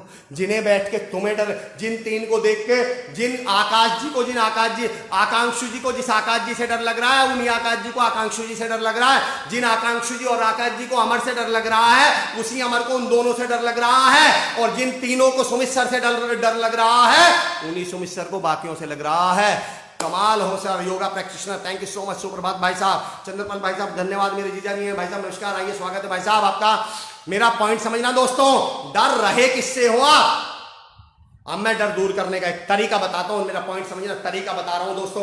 एक बात तो आप समझ लो, काम डरने से नहीं, करने से होगा। ये सारे दुनिया के डर निकलेंगे ही तब जब आप कोई काम करना शुरू कर देंगे। हकीकत बताऊँ मेरा दो तीन उदाहरण, मैं दो उदाहरण दे रहा हूँ, मेरे पॉइंट समझ लेना दोस्तों, जो मैं एग्जांपल देने वाला हूँ। बहुत व्यवहारिक बातें कर रहा हूँ, समझने की कोशिश करिएगा। वरना Jay ma'am thank you so much time थोड़ा सा हम सवा घंटे तक का भी हो सकता है, पर दोस्तों, कोई इशू नहीं। आप शेयर करिएगा वॉच पार्टी करिएगा, लोगों तक ये पहुंचाइएगा। मेरा पॉइंट समझना मैं कहना क्या चाह रहा हूँ दोस्तों, जिससे हम डर रहे हैं। बेसिकली वो भी कहीं ना कहीं हमसे डरा हुआ है। मैं ये नहीं कहता कि आप गलती, मैं ये नहीं कहता कि आप कहिए। मेरा कहना यह है, आपको काम करने पड़ेंगे डर से बाहर निकलने के लिए। तैरने का डर खत्म करना है, तैरना सीखना पड़ेगा। दुख इस बात का है। हम कहते हैं कि मैं उस दिन तैरना शुरू करूँगा जिस दिन तैरना आ जाएगा। तैरना कहता है, भाई, मैं आऊँगा ही उस दिन जिस दिन तुम शुरू करोगे। आप मेरा उदाहरण समझना। आप, हम कहते हैं, आदमी कहता है, व्यक्ति कहता है कि पैसा आए तो मैं कुछ करूँ। पैसा कहता है, भाई तू कुछ करे तो मैं आऊँ। आप कहते हो कि कॉन्फिडेंस आए तो मैं कुछ करूँ। कॉन्फिडेंस कहता भैया तुम कुछ करो तो मैं आऊँ। आप गलती ये कर रहे हैं, आप शुरुआत करने के लिए कॉन्फिडेंस के। पता आप गलती क्या कर रहे हैं? मम्मी कह रही है कि बाज़ार से दही ले आ। आप क्या कह रहे हो? मम्मी, मुझे दही दे दो, मैं दही लेने जा रहा हूँ। अरे, तुम पागल हो। बेवकूफ़ सॉरी आपके लिए नहीं, मैं अपने लिए बोल रहा हूँ। भाई, मैं पागल हूँ क्या? मैं दही लेने जा रहा हूँ या दही लेके जाऊँगा? मुझे करके, मुझे कॉन्फिडेंस से शुरू नहीं करना। मुझे शुरू करके कॉन्फिडेंस हासिल करना है। मुझे शुरुआत तो करनी पड़ेगी इस कॉन्फिडेंस के लिए। दिक्कत यह है, हम शुरू करने के लिए तैयार नहीं है। मेरा पॉइंट समझने की कोशिश करिए। आप कामयाबी की समझना मेरे दोस्तों? कामयाबी, पैसा और कॉन्फिडेंस इनकी लैंग्वेज समझ लो क्या है। मेरा पॉइंट है, उदाहरण समझना, उदाहरण समझ लेना आज मेरा। मैं टूल्स भी दूँगा आपको, मैं पहले डर पे बात कर लूँ, फिर मैं टूल्स दूँगा, ये डर तो मैं पहले डर पे बात कर लूँ, सारा खेल डर का है, क्योंकि आपने ये कहा था कि मुझे आता है, पर बोलते समय डर लगता है। और ये 90 परसेंट की समस्या ये है, वास्तव में समस्या ये है। चलिए, हर दिन एक सुबह दिन होता है, ज़रूरत है तो बस शुरुआत करने की। बिल्कुल! और भाई, शुरू तो करना पड़ेगा। मेरा उदाहरण समझना भी, जो मैं उदाहरण देने वाला हूँ, जो मैं प्रैक्टिकल पहले मैं लैंग्वेज बता दूँ, पैसे की कामयाबी की और कॉन्फिडेंस की लैंग्वेज क्या है? दोस्तों, पैसा, कामयाबी और लैंग्वेज ये आपके गुलाम है। तीनों गुलाम है। तीनों में सही बताऊँ, गुलाम भी नहीं, ये आपके रोबोट डिट्टो है, डिट्टो! इनकी वही लैंग्वेज है जो आपकी है। सुनना, इनकी लैंग्वेज क्या होती है? जब आप कहते हो आई विल डू इट क्या बोलते हो? आई विल मैं ये काम करूँगा। तो कामयाबी बोलती है, मैं आऊँगी। आई नहीं है, मैं आऊँगी। यानी आप कह रहे हो, मैं करूँगा। वो कहती है, मैं आऊँगी। पैसा कहता है, मैं आऊँगा। कॉन्फिडेंस कहता है, मैं आऊँगा। आए नहीं है। फिर आप कहते हो, मुझे ये काम करना चाहिए। कामयाबी कहती है, मुझे तेरे पास आना चाहिए। आई नहीं है। पैसा कहता है, मुझे तुम्हारे पास आना चाहिए। आया नहीं है। कॉन्फिडेंस कहता है, मुझे तुम्हारे पास आना चाहिए। आया नहीं है। फिर आप कहते हो, मैं ये काम कर सकता हूँ। कामयाबी कहती है, मैं आ सकती हूँ। पर आई अभी भी नहीं है। आप जो लैंग्वेज बोलोगे, वही लैंग्वेज कामयाबी, पैसा और कॉन्फिडेंस बोलेगा। आप बोलते हो, मैं काम करूँगा। कामयाबी, पैसा कॉन्फिडेंस बोलता है, हम आएँगे। आप बोलते, मुझे करना चाहिए। वो बोलते हैं हमें आना चाहिए। आप कहते हैं, मैं कर सकता हूँ। वो बोलते हैं हम आ सकते हैं। फिर आप कहते हैं कि, मैं काम कर रहा हूँ। आई एम डूइंग कामयाबी, पैसा और कॉन्फिडेंस बोलते हैं वी आर कमिंग आए अभी भी नहीं है। वी आर कमिंग और फिर आप बोलते हैं I have done this work मैंने ये काम कर लिया है। तभी आपके घर के दरवाजे की बैल बजती है और बाहर जैसे आप दरवाज़ा खोलते हैं, कामयाबी और पैसा और कॉन्फिडेंस बोलता है, हम आ गए हैं. दोस्तों, कामयाबी लैंग्वेज आज बात समझ में आ गया, आपने बात क्यों कही थी? ये वक्त भी गुजर जाएगा। पवन बैसला, भाई ji thank you so much क्या बड़ी बात बोली आपने? पवन भाई थैंक यू सो मच मेरा पॉइंट समझना दोस्तों। कामयाबी, पैसा और कॉन्फिडेंस आपके साथ उसी लैंग्वेज में बात करेंगे, जिस लैंग्वेज में आप बात करने वाले हैं। अगर आप कहेंगे, मैं ये काम करूँगा कॉन्फिडेंस कहेगा, मैं आऊँगा। आप कह रहे हो कि, मैं ये काम कर सकता हूँ कॉन्फिडेंस कह रहा है, मैं आ सकता हूँ। आप कह रहे हो, मैं कॉन्फिडेंस काम कर रहा हूँ, मैं काम कर रहा हूँ। कॉन्फिडेंस कह रहा है, मैं आ रहा हूँ। और आप कहते हो, मैंने काम कर लिया है। कॉन्फिडेंस बेल बजाता कहता सर, मैं आ गया हूँ। सवाल ये है, आपने काम शुरू कर दिया क्या? यू हैव टू स्टार्ट आपको कॉन्फिडेंस से शुरू नहीं करना कॉन्फिडेंस तक जाने के लिए शुरू करना है। काम की शुरुआत कर दीजिए और कॉन्फिडेंस दो तरह का होता है दोस्तों। और कॉन्फिडेंस एक उदाहरण दे रहा हूँ। आज बीसवा, तेईसवा दिन है, इसलिए मैं एग्ज़ाम्पल दे पा रहा हूँ दोस्तों, मेरा पॉइंट समझना। मैं इस एग्ज़ाम्पल को इसलिए दे पा रहा हूँ क्योंकि अब हम कनेक्टेड हो चुके हैं। आप मेरा व्यवहार, मैं आपका व्यवहार समझ चुका हूँ। इस उदाहरण को समझने की कोशिश करिएगा। दुनिया आपको अपॉर्चुनिटी देती है दोस्तों, आपको अपॉर्चुनिटी देती है। मेरा उदाहरण समझना। जब हम रोल प्ले सेशन कराया करता था, मैं मैं जब रोल प्ले सेशन कराया करता था तो मैं एक रोल प्ले कराता था इंस्टीट्यूट पे। वो याद है गब्बर बसंती वीरू वाला मेरा उदाहरण समझना, ये ऑनलाइन थोड़ा रिस्की है, पर समझ जाएँगे आप। या केवल बात का मतलब समझ जाएँगे आप। तो एग्ज़ाम्पल ये था। मैं कहता था, भाई, गब्बर कौन बनेगा? स्टेज पे आके कौन गब्बर का रोल करेगा? अब आप जानते हैं, स्टेज पे आने के लिए तो कोई तैयार ही नहीं है। तो कोई गब्बर बनने के लिए तैयार नहीं। खैर, मैं जैसे तैसे मोटिवेट करके किसी एक को गब्बर बनाया मैंने। फिर मैंने कहा बसंती कौन बनेगी? तो कोई बसंती को लड़की उठने के लिए तैयार नहीं, स्टेज पे आने के लिए तैयार नहीं। खैर जैसे तैसे मोटिवेट करके एक को मैंने स्टेज पे लाया, बसंती बनी। मैंने कहा, वीरू कौन बनेगा? बड़ी मुश्किल से एक लड़का वीरू बनने के लिए तैयार हुआ मेरा दोस्तों। अब सवाल समझना, स्टेज के ऊपर बता रहा हूँ, स्टेज पे बोलने के लिए बता रहा हूँ। तमाम नेटवर्किंग के लोग भी मुझे सुन रहे हैं, तमाम स्टूडेंट्स मुझे सुन रहे हैं, तमाम वो लोग जो मैनेजर पोजीशन पे तमाम वो लोग जो लीडरशिप पे जाना चाह रहे हैं, वो मुझे सुन रहे हैं। मेरा उदाहरण समझना और सुनना, फिर मैंने एक गब्बर बन गया, एक बसंती बन गई, एक वीरू बन गया फिर मैंने उन बच्चों से एक बात कही जो क्लास में बैठे हुए बच्चे थे। मैंने उनसे एक बात कही कि आनंद मूवी में एक डायलॉग है, ये दुनिया रंगमंच है, हम अपना अपना रोल यहाँ पर प्ले कर रहे हैं। मैंने कहा, दोस्तों, ये दुनिया तुम्हें अपॉर्चुनिटी दे रही है। उठो, हिम्मत दिखाओ स्टेज पर आओ, या तो गब्बर बन जाओ, या वीरू बन जाओ, या बसंती बन जाओ, वरना कुत्ते बन जाओगे। क्योंकि इसका डायलॉग है कि बसंती इन कुत्तों के सामने मत नाचना। ये मैंने क्लास वालों के लिए कहा, मैं उनके लिए कह रहा था, बच्चों के लिए कह रहा था। मैंने कहा, बेटा, अगर तुम उठ के इधर नहीं आए, जो इधर बचा रह गया, फिर उसे ये कहने का हक नहीं है कि लोग मेरा मज़ाक क्यों उड़ाते हैं, लोग मेरी इज़्ज़त क्यों नहीं करते रिस्पेक्ट क्यों नहीं करते? भैया, उठ के स्टेज पे तो आना पड़ेगा, ज़िम्मेदारी तो संभालनी पड़ेगी।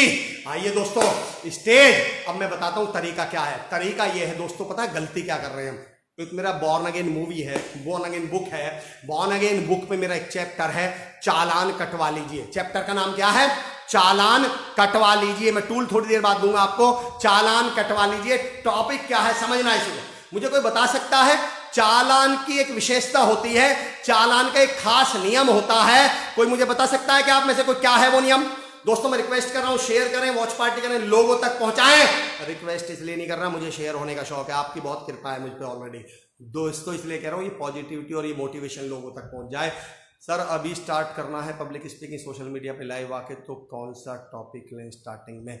हर्षल शाह जी हर्षल भाई, देखो, एक बात तो बताओ आप वही तो टॉपिक लेंगे जिसमें आप जानकार होंगे, जिसको आप जानते होंगे। तो आप वो टॉपिक लीजिए जिसको आप जानते हैं। Kuldeep Ambedkar ji very good morning मैं इसको हर्षद भाई थोड़ी देर बाद, एक मिनट बाद फिर बोलूँगा इसमें मैं भी आगे आपको टूल बताने वाला हूँ। थोड़ा सा सेशन आज लंबा चलाएँगे। सवा घंटे तक का सेशन हो सकता है। बताइए मुझे, चालान की कोई विशेषता बता सकता है? अमित सर, बिल्कुल you got the right point 24 24 hours तक होता है। मेरा टॉपिक क्या है? चालान कटवा लीजिए। अच्छा बताओ, आपका चालान कट गया सुबह के नौ बजे। अब बताओ अगले 24 घंटे के लिए आप क्या हो? टेंशन फ्री स्ट्रेस फ्री डर ही नहीं लग रहा। अब आप बाइक को यूँ भी चलाओगे, आप बाइक को यूँ भी थोड़ी सी उपैया उठा लोगे, आप हेलमेट भी बगल में लगा लोगे। बताइए ऐसा क्यों? क्योंकि आपका चालान कट चुका है। चाहे डॉक्टर 24 फोर आवर्स वैलिडिटी होती है, बिल्कुल प्रतीक सर, मैं भी वही समझाना चाह रहा हूँ। एक बार चलान कट गया, अगले 24 घंटे के लिए फ्री हैं। दोस्तों, मैं कह रहा हूँ, पता हमें डर ही तब तक लगता है जब तक हम एक बार चलान ना कटवा ले। एक बार स्टेज पे आ जाओ। जिन लोगों ने तुम्हें डराया हुआ ना, स्टेज पे ऐसा होता है, स्टेज पे वैसा होता है। पता है, स्टेज की खूबी क्या है? जिस दिन आप स्टेज पे आओगे और बोलोगे, पाँच मिनट बाद उतरोगे तो पता आप क्या बोलोगे? हमें तो इतना डरा के रखा हुआ था, ये हो जाएगा, वो हो जाएगा। हम तो जिंदे अभी तक नहीं मरे स्टेज पे से उतर के भी। आपको पता चले गए तो खामा का डराया हुआ था। मैं बता रहा हूँ क्यों डराया देखना, समझना। एक बार अगर आप स्टेज पर आ गए, एक बार चलान कट गया, आप सही बोले, गलत बोले, कैसा भी बोले, पर यकीन जानो उसके बाद आपका डर लगना खत्म हो जाएगा, क्योंकि आपने चालान, अफसोस इस बात का है हम पहली बार चलान कटवाते ही नहीं और सारी ज़िंदगी संभावनाओं की ज़िंदगी जीने के बगा बजाय डर की ज़िंदगी जीने में गुजार देते हैं। सिर्फ़ उस एक बार के चलान में, अरे यार, एक बार का चलान कट भी गया तो कितने का कटेगा? सौ का, दो सौ का, पाँच सौ का, हज़ार रुपए का? पर उसके बाद सारी ज़िंदगी तो फ्री हो। अगर एक बार स्टेज पे आके गलती भी कर दी, गलत भी बोल दिया तो कौन सी आफत आ जाने वाली है? सारी ज़िंदगी के लिए तो कॉन्फिडेंस आ गया, सारी ज़िंदगी के लिए तो स्टेज पे आना आ गया, पर हम वो एक बार हिम्मत ही नहीं कर रहे। ज़बरदस्त नहीं, ज़बरदस्ती शुरुआत करिए। अपने आसपास कोई ऐसा व्यक्ति ढूंढिए जो आपको ज़बरदस्ती स्टेज पर ला दे। और एक पॉइंट और समझना, एक बहुत महत्वपूर्ण पॉइंट बोल रहा हूँ, बारीक पॉइंट आप लोगों से ही बोल सकता हूँ। आप सेंसिबल ऑडियंस है। हम गलत करने से नहीं डरते, गलती करने से डरते हैं। देखो, बड़ी बारीक बात है। मैं कहता हूँ, हम गलत काम करने से कभी नहीं डरे, गलती करने से डरते हैं। गलत काम, शराब पीना, नहीं डरे। सिगरेट पीना, नहीं डरे। कॉलेज से बंक मारना, नहीं डरे। काम चोरी करना, नहीं डरे। ऑफ़िस में लेट जाना, नहीं डरे। सारे बुरे कामों से, गलत काम से एक भी नहीं डरे और सही काम में गलती करने से डर गए। अरे मैं कहता हूँ इंग्लिश गलत भी बोल दी। आपने स्टेज पे गलत भी बोल दिया तो जरा नुकसान बताइए मुझे क्या है? आप अभी भी लाखों कमजर्फ लोगों से बेहतर हैं जो हिम्मत ही नहीं दिखा पा रहे स्टेज पे आने की। आप उन लाखों करोड़ों लोगों से बेहतर हैं जो इधर बैठे हुए अरे इधर बैठे मैं एक शेर पढ़ता हूँ हमेशा कि मैदान की हार जीत तो किस्मत की बात है। अरे टूटी है किसके हाथ में तलवार देखना? टूटी हुई तलवारों से भी ये पता चलता है कि ये योद्धा था, ये लड़ने वालों में था। ये दर्शक नहीं था जो या तो ताली बजा रहे थे या शोर मचा रहे थे। अरे तलवार टूटी ही सही, पर योद्धा तो कहलाओगे। स्टेज पे आके गलत बोलने वाले, उन बैठे हुए जिनको सही आता है, उन लाखों करोड़ों से बड़े कामयाब हो जाएँगे, बेहतर हो जाएँगे, बढ़िया हो जाएँगे। इन फ़िल्में, पता है ये फिल्मी डायलॉग किसने बना रखे हैं? हमारे इंदौर में एक इंस्टीट्यूट का मेयर मयंक सर गए थे, वहाँ पे इनॉग्रेशन था एक इंस्टीट्यूट का। तो वहाँ पे चार पाँच डायरेक्टर थे पार्टनर थे उसके। डेढ़ घंटे में वो बात चली। अब जो लास्ट में, सन्ना मेरी बात, जो लास्ट में, सबसे लास्ट में बोले, वो खड़े हो गए डेढ़ घंटे बाद उनका नंबर आया। माइक पे उनका पहली लाइन समझना क्या था? मैं बोलने में नहीं, करने में यकीन रखता हूँ, करके दिखाता हूँ। मैंने हाथ उठा के पता क्या पूछा? मैंने कहा भाई साहब आप ये एक लाइन बोलने के लिए आपने अपना घंटा खराब कर लिया था।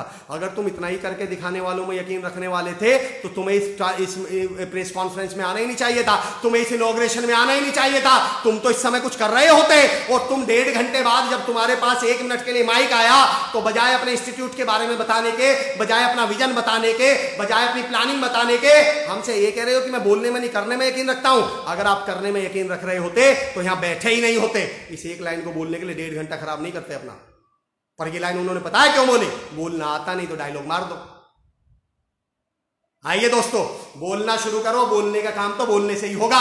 बोलने का काम दुनिया की हाँ ये अलग बात है। जैसे डांसिंग सिंगिंग से नहीं आ सकती, जैसे पेंटिंग पानी पीने से नहीं आ सकती, जैसे पानी पीना नाचने से नहीं आ सकता, ऐसे बोलना तो बोलने से ही आएगा।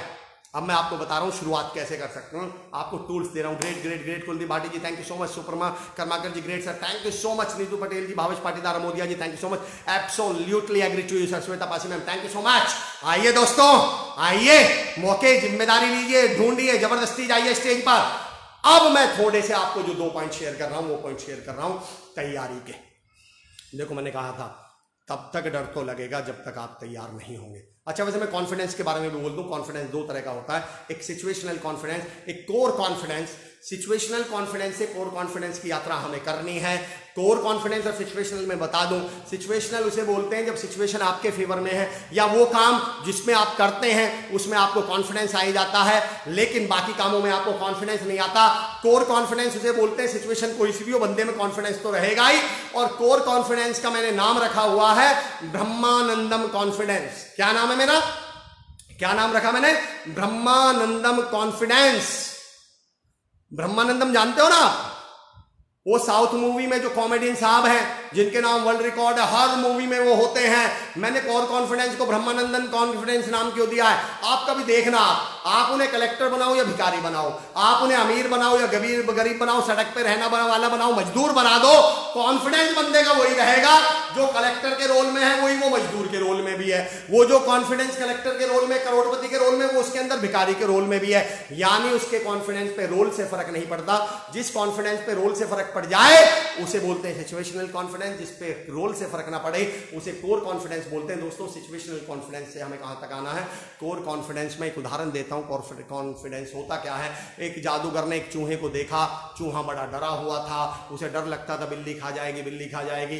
जादूगर को चूहे पे तरस आ गया। जादूगर ने चूहे से कहा, चल, तुझे बिल्ली से डर लगता है ना? मैं तुझे बिल्ली बना देता हूँ। जादूगर ने चूहे को जादू से बिल्ली बना दिया। दो चार दिन बाद वो जादूगर आया तो अब उसने देखा, वो बिल्ली छुपी हुई बैठी है, वो कुत्ते से डर रही है। उसे कुत्ते से डर लग रहा है। उसे लगा जादूगर को, अरे यार। तो उसने कहा, चल, मैं तुझे कुत्ता बना देता हूँ। कुत्ते से डर लगता है ना? उसने कुत्ते बना दिया। चार पाँच दिन बाद जादूगर ने देखा कि अब वो छुप के रह रहा, भेड़िए से डर लगता है, उसे कुत्ते को भेड़िया खा जाएगा। उसने कहा, चल, मैं तुझे भेड़िया बना देता हूँ। जादूगर ने उसे भेड़िया बना दिया। अब वो शेर से डरा हुआ घूम रहा है कि कहीं शेर ना खा जाए, शेर ना खा जाए। जादूगर को तरस आए बोले, चल, तुझे जंगल का राजा ही बना देता हूँ। और उसने शेर बना दिया। अब दस पाँच दिन बाद जादूगर को लगा, देख के आता हूँ, अब तो नहीं डर रहा होगा। अब वो मांद में छुपा बैठा है शेर यूँ करके। जादूगर ने अब क्या हुआ? बोले, यार, कहीं कोई शिकारी ना आ जाए, मार ना दे। जादूगर ने वापस उसे चूहा बनाकर बोला कि, मैं तुझे कितना भी शेर बना लूँ तो अंदर से तो चूहा ही रहेगा। जब तक तू ये चूहापन, ये कोर कॉन्फिडेंस तेरे अंदर डेवलप नहीं होने वाला, मैं रोल कितने भी बदलते रहूँ तेरे, तू तो चूहा तो रहेगा ही। दोस्तों दोस्तों, राजीव अरोड़ा सर हमें ज्वाइन कर चुके हैं फियर टू फियरलेस क्या बात कही आपने सर आइए दोस्तों, इस कोर कॉन्फिडेंस पे काम करें। शुरुआत तो करनी पड़ेगी, ज़बरदस्ती नहीं, ज़बरदस्ती करिए बोलने की। अब दो तीन टूल दे रहा हूँ कि आप अपनी कम्युनिकेशन और पब्लिक स्पीकिंग कैसे इंप्रूव कर सकते हैं। पहले तो तैयारी कैसे करें? पहले तो मैं उसका सीधा सा फॉर्मूला बता रहा हूँ। दोस्तों, एक दो उदाहरण देकर समझाता हूँ। हमें डर कब लगता है? मैं हमेशा कहता हूँ, ये कॉन्फिडेंस आता है कहाँ से? समझना कॉन्फिडेंस दो चीज़ों से आता है प्रैक्टिस से और नॉलेज से। किससे? पीके पीके मूवी देखे? पीके पीके फॉर्मूला है कॉन्फिडेंस का। क्या फॉर्मूला है? PK formula P for practice K for knowledge जब आप किसी काम की फॉर्मूला दे रहा हूँ P K formula P for practice K for knowledge आप ध्यान दीजिए स्कूल के डे स्कूल डे ध्यान दीजिए। टीचर ने कोई सवाल पूछा और उस सवाल का जवाब आपको आता है, अपना कॉन्फिडेंस याद करो। एडियो पे उचक गए थे, ऊपर निकल आए थे, सर भी सबसे ऊपर, सर सर सर, मैं बताऊँ। आपके अंदर कॉन्फिडेंस था। टीचर ने अगला सवाल पूछा, इसका जवाब कौन देगा? आपको आता नहीं था। आप एकदम ऐसे पीछे, अपने दोस्त के पीछे बैठ गए। मेरा सवाल है एक मिनट पहले तुम में कॉन्फिडेंस था अब कॉन्फिडेंस कहाँ चला गया? Confidence comes with knowledge confidence goes with knowledge confidence knowledge के साथ आता है. कॉन्फिडेंस नॉलेज के साथ चला जाता है. आप बिना खाली बोरी कभी भी खड़ी नहीं हो सकती. जिस कॉन्फिडेंस की, हमारे साथ दिक्कत पता है क्या है? हम जब कॉन्फिडेंस की बात करते हैं तो कॉन्फिडेंस की, हमें लगता है कॉन्फिडेंस कहीं बाज़ार में मिलेगा. सराफा जाऊँगा या मैं जाऊँगा जून इंदौर, वहाँ से पाँच किलो कॉन्फिडेंस ले आऊँगा. भाई it will come with knowledge it will come with practice practice और नॉलेज से आएगा. जब कोई काम आपको आता है तो ऑटोमेटिकली आप कॉन्फिडेंट फील यानी कॉन्फिडेंस की कॉन्फिडेंस तो भाई फ्रूट है।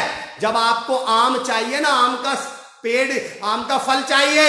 मैंने रोज बात कहता हूँ, पानी तो जड़ में डलेगा, और इसकी जड़ है प्रैक्टिस और नॉलेज आप अपनी प्रैक्टिस शुरू डर के आगे जीते, राज सराय साहब, क्या बात है Raj ji thank you so much मेरा पॉइंट समझना दोस्तों, मेरे पॉइंट समझने की कोशिश करिएगा। मैं क्या कह रहा हूँ आप लोगों से प्रैक्टिस शुरू करिए नॉलेज पे काम करना शुरू करिए कंटेंट पे काम करना शुरू करिए। अगर आपको कुछ बोलना है तो एक फॉर्मूला दे रहा हूँ, उससे पहले एक formula अपनाइए। R O L S R O L S जब मैं स्पोकन इंग्लिश सिखाता था तो बच्चों से एक सवाल पूछता था। आपसे भी सवाल पूछता हूँ। बच्चे बोलते थे, सर, हम इंग्लिश बोल नहीं पाते।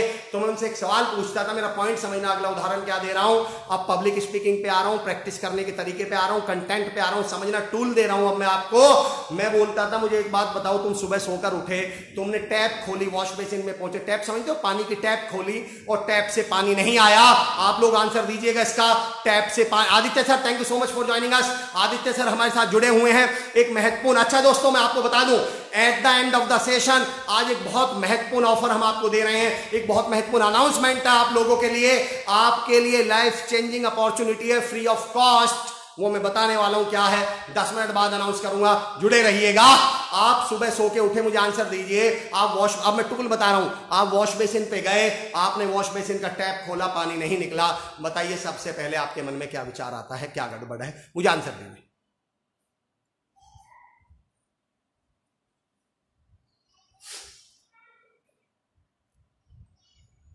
बताइए। मैं हिदय सर, आपका क्वेश्चन पढ़ चुका हूँ। One of my favourite question मैं आंसर दूँगा आपको। ये मैंने खुद ने आजमाया हुआ है, इसलिए मैं आपको बताऊँगा इसका आंसर मुझे बताइए दोस्तों, जब आप सुबह उठते हैं वॉश बेसिन पे जाते हैं टैप खोलते हैं टैप में पानी नहीं निकलता तो आपको पहला डाउट पहली गड़बड़ क्या लगती है? गड़बड़ टैप में है या गड़बड़ कहीं और है? जरा मुझे आंसर देके बताइए। प्लीज़ बताइए। बताइए दोस्तों। पब्लिक स्पीकिंग पे आ रहे हैं, अगले पंद्रह मिनट हम बात करने वाले हैं पब्लिक स्पीकिंग के टूल्स पर। आइए दोस्तों, जुड़िए, बताइए मुझे। टंकी में पानी नहीं है, Anil Khariya sir. Thank you so much sir tanker खाली है, बिल्कुल सही है, शिवांश भाई। थैंक यू सो मच बिल्कुल सही आंसर सर टंकी में पानी नहीं है टैंकर खाली है। जब आपकी इस टैप से शब्द ना निकल रहे हो तो दरअसल ये टंकी खाली है, ये टंकी में पानी नहीं है। जब तक यहाँ पानी नहीं भरा होगा, तब तक यहाँ, और ये भी बता दो, टैप से कितनी तेज पानी निकलेगा, ये इस बात पर डिपेंड करता है कि टंकी कितनी भरी हुई है। टंकी जितनी खाली होगी उतनी ही दिक्कत यहाँ से निकलने में आएगी। तो सिर्फ़ पानी खत्म राजेश सर कह रहे हैं बिल्कुल सही सर। निश्चित पाइपलाइन ऑफ़ है बिल्कुल सही। समस्या कहीं और है? समस्या यहाँ नहीं है। समस्या दोस्तों यहाँ है। एक प्रैक्टिकल एग्जांपल दे रहा हूँ अगर आपके आसपास कोई हो तो नोटिस करना आज के बाद कर, ट्राई करके देख लेना। एक उदाहरण है सिर्फ़ आपने अगर कोई हकलाने वाला व्यक्ति देखा हो तो नोटिस करिएगा। जब हकलाने वाला व्यक्ति बोलता है तो हकलाता है लेकिन जब वही हकलाने वाले व्यक्ति गाना गाता है तो वो हकलाता नहीं है। प्रैक्टिकली अगर किसी ने नोटिस किया हो तो मुझे आंसर भी दे सकते हैं और वरना कनेक्ट करने की कोशिश करेगा कारण बता दूँ क्यों? दरअसल हकलाने वाले व्यक्ति की दिक्कत जीभ में नहीं, यहाँ न्यूरॉन्स में होती है कनेक्शंस में होती है। दरअसल गाने में क्यों नहीं अटकते वो? क्योंकि गाना उसको ऑलरेडी सारा याद है, उसे सोचना नहीं पड़ रहा और जब उसे बोलना पड़ता है तो सोच के बोलना पड़ता है। जब सोच के बोलेगा तो अटकेगा, जब बिना सोचे उसके ऑलरेडी दिमाग में है तो नहीं अटकेगा। दरअसल हम अटकते इसलिए हैं क्योंकि हमारी टंकी खाली है हमारा कंटेंट खाली है तो सबसे पहले इस टंकी को भरने का काम करना शुरू कर दो। इस टंकी को बहुत से example Seema Singh ma'am thank you so much अरे सीमा मैम है क्या? ओहो, Seema ma'am welcome back to India thank you so much for joining us really glad to see you मेरा पॉइंट समझना दोस्तों? मैं क्या कह रहा हूँ? मुझे तेंडुलकर साहब कह रहे हैं, बिल्कुल सही है सर थैंक यू मेरा पहला नियम, अगर आप बोलना आपने आज तक, सुनना मेरा अगला उदाहरण, आपने आज तक कोई ऐसा बहरा व्यक्ति देखा है? बहरा। जो गूँगा ना हो। मुझे आंसर दीजिए दोस्तों। आइए मेरे साथ जुड़िए मुझे आंसर दीजिए। सिंस बर्थ मैं जन्म से बात कर रहा हूँ मैं सारे टूल बता रहा हूँ आपको पब्लिक स्पीकिंग के। आप मुझे बताइए, आपने ज़िंदगी में कोई आज तक ऐसा बहरा व्यक्ति देखा है जो गूँगा ना हो? बताइए, कोई ऐसा बहरा व्यक्ति देखा है? बर्थ से सिंस बर्थ जन्म से बात कर रहा हूँ। आज एक बहुत महत्वपूर्ण अनाउंसमेंट आप लोगों के लिए हमारे पास है। हम आपको बहुत महत्वपूर्ण अनाउंसमेंट करने वाले हैं। मैं रिक्वेस्ट कर रहा हूँ, तमाम लोगों तक आज तो शेयर करिए वॉच पार्टी करिए पहुंचाइए लोगों तक। आपने कोई ऐसा व्यक्ति नॉलेज से दिमाग रूपी टंकी को भरना पड़ेगा? प्रवीण चौधरी जी, क्या बात कही सर आपने? बिल्कुल सही। जितनी टंकी भरी होगी, उतना टैप से पानी तेज़ी से निकलेगा। Watching Sachin Baisla Sachin Baisla ji thank you so much for joining Bhavesh Patidar Modiya ji, बहुत सही sir. Thank you so much मुझे बताइए, आपने super example Shweta Pasi ji thank you आपने कोई ऐसा व्यक्ति देखा है जो बहरा हो लेकिन गुंगा ना हो, मुझे आंसर दीजिए। Leader lead with an example great example Raj साहब thank you so much sir, मुझे इसका जवाब दीजिए अगर मेरे साथ जो जुड़े हुए हैं लोग। मैं आप लोगों को आज एक एक अपॉर्चुनिटी भी दे रहा हूँ, एक ऑफ़र भी दे रहा हूँ। फ्री ऑफ़ कॉस्ट है, थोड़ी देर बाद देने वाला हूँ। नहीं देखा। अशोक अग्रवाल साहब very good morning thank you for joining us absolutely thank you Yuvraj क्यों नहीं देखा? दोस्तों, जिसने आज तक सुना नहीं वो कभी बोल नहीं सकता। डॉग वो बोलेगा जिसने डॉग सुना होगा, अमर वो बोलेगा जिसने अमर सुना होगा। कई बार लोग पता क्या बोलते हैं, सर, उसे दिखा दो। मैंने कहा, दिखाओ दिखाओ कि ये पंखा है। कैसे पता चलेगा ये उसे पंखा दिख तो रहा है, पर ये कैसे पता चले कि ये पंखा है? उसे पता कैसे चले? उसे पता कैसे चले?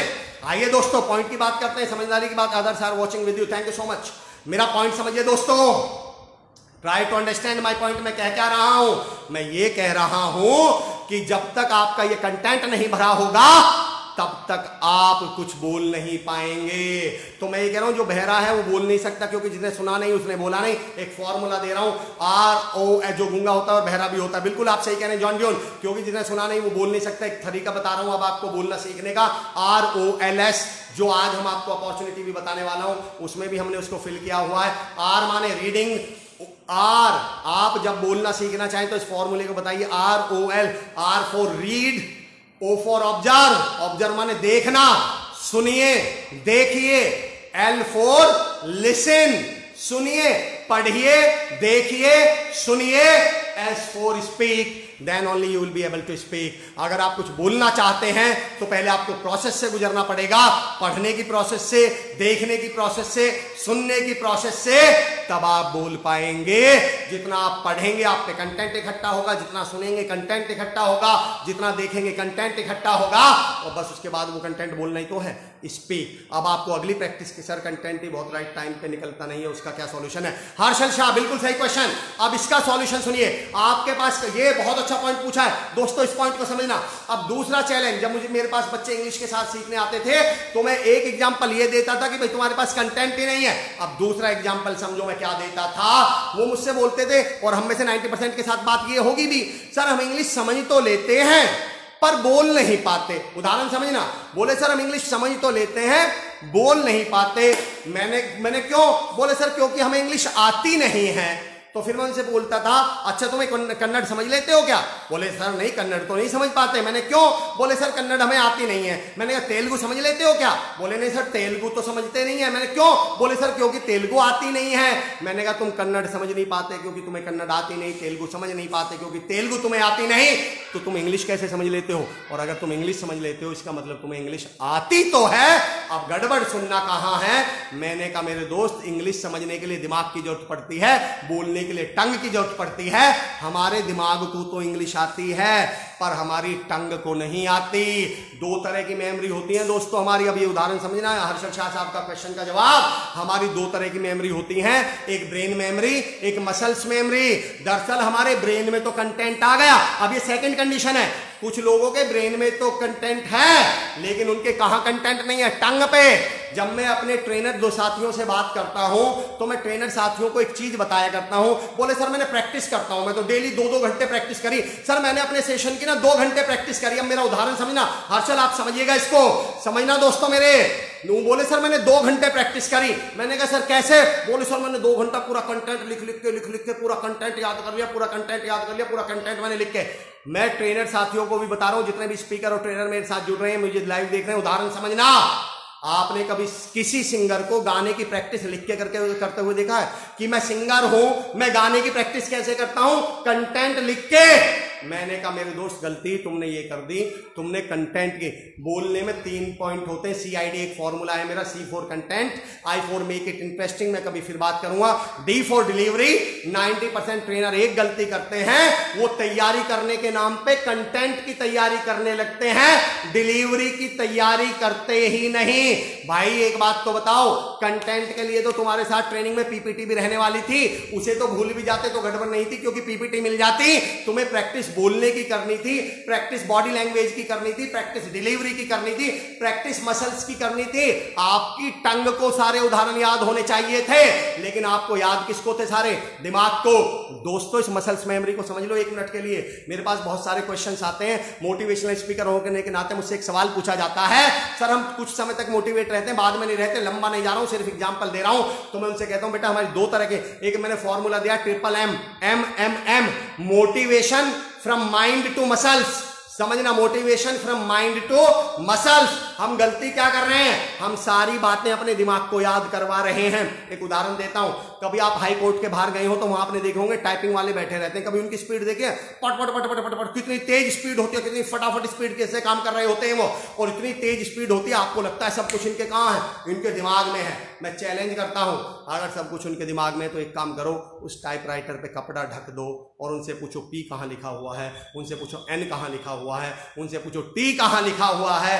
उनमें से एक भी नहीं बता पाएगा पी एन टी कहाँ लिखा हुआ है? और जैसे ही आप कपड़ा हटाओगे तो उसका हाथ फिर पी पे जाएगा, एन पे जाएगा, टी पे जाएगा। दरअसल सब कुछ उसके ब्रेन में नहीं है, सब कुछ उसके हाथों में, उसकी मसल्स में है। एक सवाल पूछता हूँ, आप में से कितने लोगों को साइकिल चलानी आती है? जरा जरा मुझे लिख के बताइए कितने लोग साइकिल चलाना जानते हैं? बताइए जरा। थैंक यू राज बिहारी उपाध्याय साहब। Thank you so much for validating साहब बताइए दोस्तों, कितने लोग साइकिल चलानी आती है। समझना मसल्स मेमोरी समझा रहा हूँ अब आपको, हर्षल शाह जी। आपके सवाल का जवाब और केवल इनके सवाल का जवाब नहीं, आप सबको प्रैक्टिस करने का तरीका बता रहा हूँ। मुझे बताइए दोस्तों, कितने लोगों को आप में से साइकिल आती है? जरा लिख के बताइए यस कितने लोगों को साइकिल आती है? आज थोड़ा सेशन लंबा भी चल सकता है दोस्तों।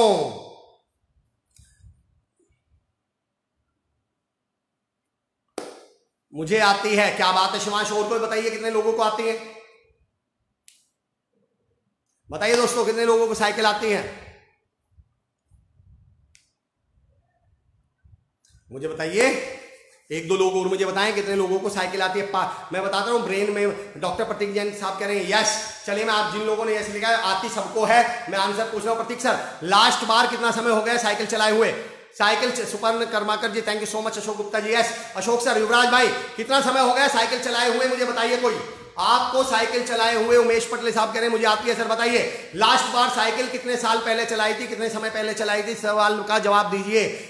यस अनिल खरिया सर कह रहे हैं यस अनिल सर, पिछली बार साइकिल कब चलाई थी? कितने समय पहले? मुझे कोई आंसर दे सकता है? साइकिल चलाए हुए कितने महीने, कितने साल हो गए आपको? मुझे भी है अशोक अग्रवाल साहब कह रहे हैं, सर, मुझे बताइए कितना साल, कितना समय हो गया साइकिल चलाए हुए? नब्बे प्रतिशत को आती है पवन बेसला। भाई कह रहे हैं, राजेश सोनिया, दानिया सर कह रहे हैं, यस सर। अशोक गुप्ता जी कह रहे हैं, दो मंथ हो गए, फिर वेरी गुड और कोई बताइए लास्ट बार साइकिल कब चलाई थी? कोई ऐसा है जिसको पाँच साल से ज़्यादा हो गए हो? कोई ऐसा है जिसे साइकिल चलाए हुए पाँच साल से ज़्यादा हो गए हो? पाँच साल हो गए नहीं sir thank you so much मैं भी यही कह रहा था सर यही जवाब सुनना चाह रहा था मैं। कोई ऐसा है जिसको दस साल से ज़्यादा हो गए हो? My baby is also watching in सही yes Khushhali ma'am thank you so much बेटा, आपको बहुत बहुत आशीर्वाद, बहुत बहुत शुभकामनाएँ thank you so much Khushhali ma'am क्या नाम है बेबी का? बच्चे का नाम क्या है? लास्ट टाइम छह मंथ पहले चलाई थी more than one year doctor Prateek Jain सब कह रहे हैं, वंदना जैन मैम कह रही है, बाईस साल। बिल्कुल। अब मेरा उदाहरण समझना मेरे साथियों। अनिल सर कह रहे हैं, पाँच साल हो गए, कोई कह रहे हैं, छह महीने हो गए, वंदना मैम कह रही हैं, बाईस साल हो गए साइकिल चलाए हुए, और साइकिल आपको अभी भी आती है। और परसों क्लास में क्या पढ़ाया गया वो भूल गए। तीन दिन पहले पति ने क्या बोला था भूल गए। चार दिन पहले सब्ज़ी लेने जा रहे थे वाइफ ने क्या बोला था भूल गए। मैं ये कहता हूँ, जब आप बाईस साल पुरानी बात नहीं भूले, दस साल पहली चीज़ नहीं भूले तो आप परसों पढ़ाया हुआ कैसे भूल गए? तीन दिन पहले बताया हुआ कैसे भूल गए? क्योंकि बताई हुई बात हमारे ब्रेन ने याद की थी, ब्रेन ने सीखी थी, और साइकिल हमारे मसल्स ने सीखी थी, साइकिल हमारे पैरों ने सीखी है, साइकिल हमारे हाथों ने सीखी है, साइकिल हमारी मसल्स ने सीखी है, और मसल्स मेमोरी हमारी ब्रेन मेमोरी से कई गुना लॉन्गर और कई गुना बेटर होती है। जो चीज़ आपकी मसल्स ने सीख ली, वो आप ज़िंदगी में नहीं भूलने वाले।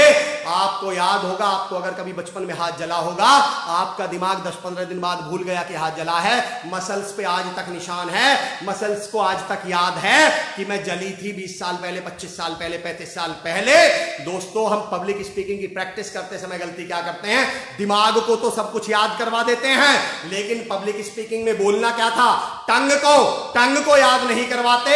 अगर आप दो घंटे की तैयारी कर रहे हैं तो एक घंटा कंटेंट लिखने में और एक घंटा कंटेंट डिलीवरी की प्रैक्टिस करें। नीतू को फ़ोन करिए, मेरी वाइफ को। वो बताएगी, मैं कैसे तैयारी करता हूँ? मैं आधे घंटे लिखूँगा, फिर खड़ा हो जाऊँगा, घूमता रहूँगा, उन्हें रिपीट करूँ। उसी अंदाज और टोन भी मेरी वही रहेगी, वही अंदाज रहेगा मेरा। वेलकम आई वेलकम यू मैं Amar Chaudhary the practical motivational speaker मैं प्रैक्टिस भी ऐसे ही करता हूँ। और जब मैं ऐसी प्रैक्टिस करता हूँ तो ध्यान देना, आपने मेरे एक्सप्रेशन चेक किए होंगे। मैं ऑनलाइन भी ऐसे बोल रहा हूँ जैसे लोग मेरे सामने बैठे हैं। क्यों? क्योंकि मैं घर पे प्रैक्टिस कैसे करके आया हूँ? कि लोग मेरे सामने, फिर मेरी बॉडी लैंग्वेज भी काम करती है, मेरी टंग भी काम करती है, मेरे एक्सप्रेशन भी काम करते हैं। मैंने केवल दिमाग को प्रैक्टिस नहीं करवाई टंग को भी प्रैक्टिस करवाई है, हाथ को भी प्रैक्टिस करवाई है।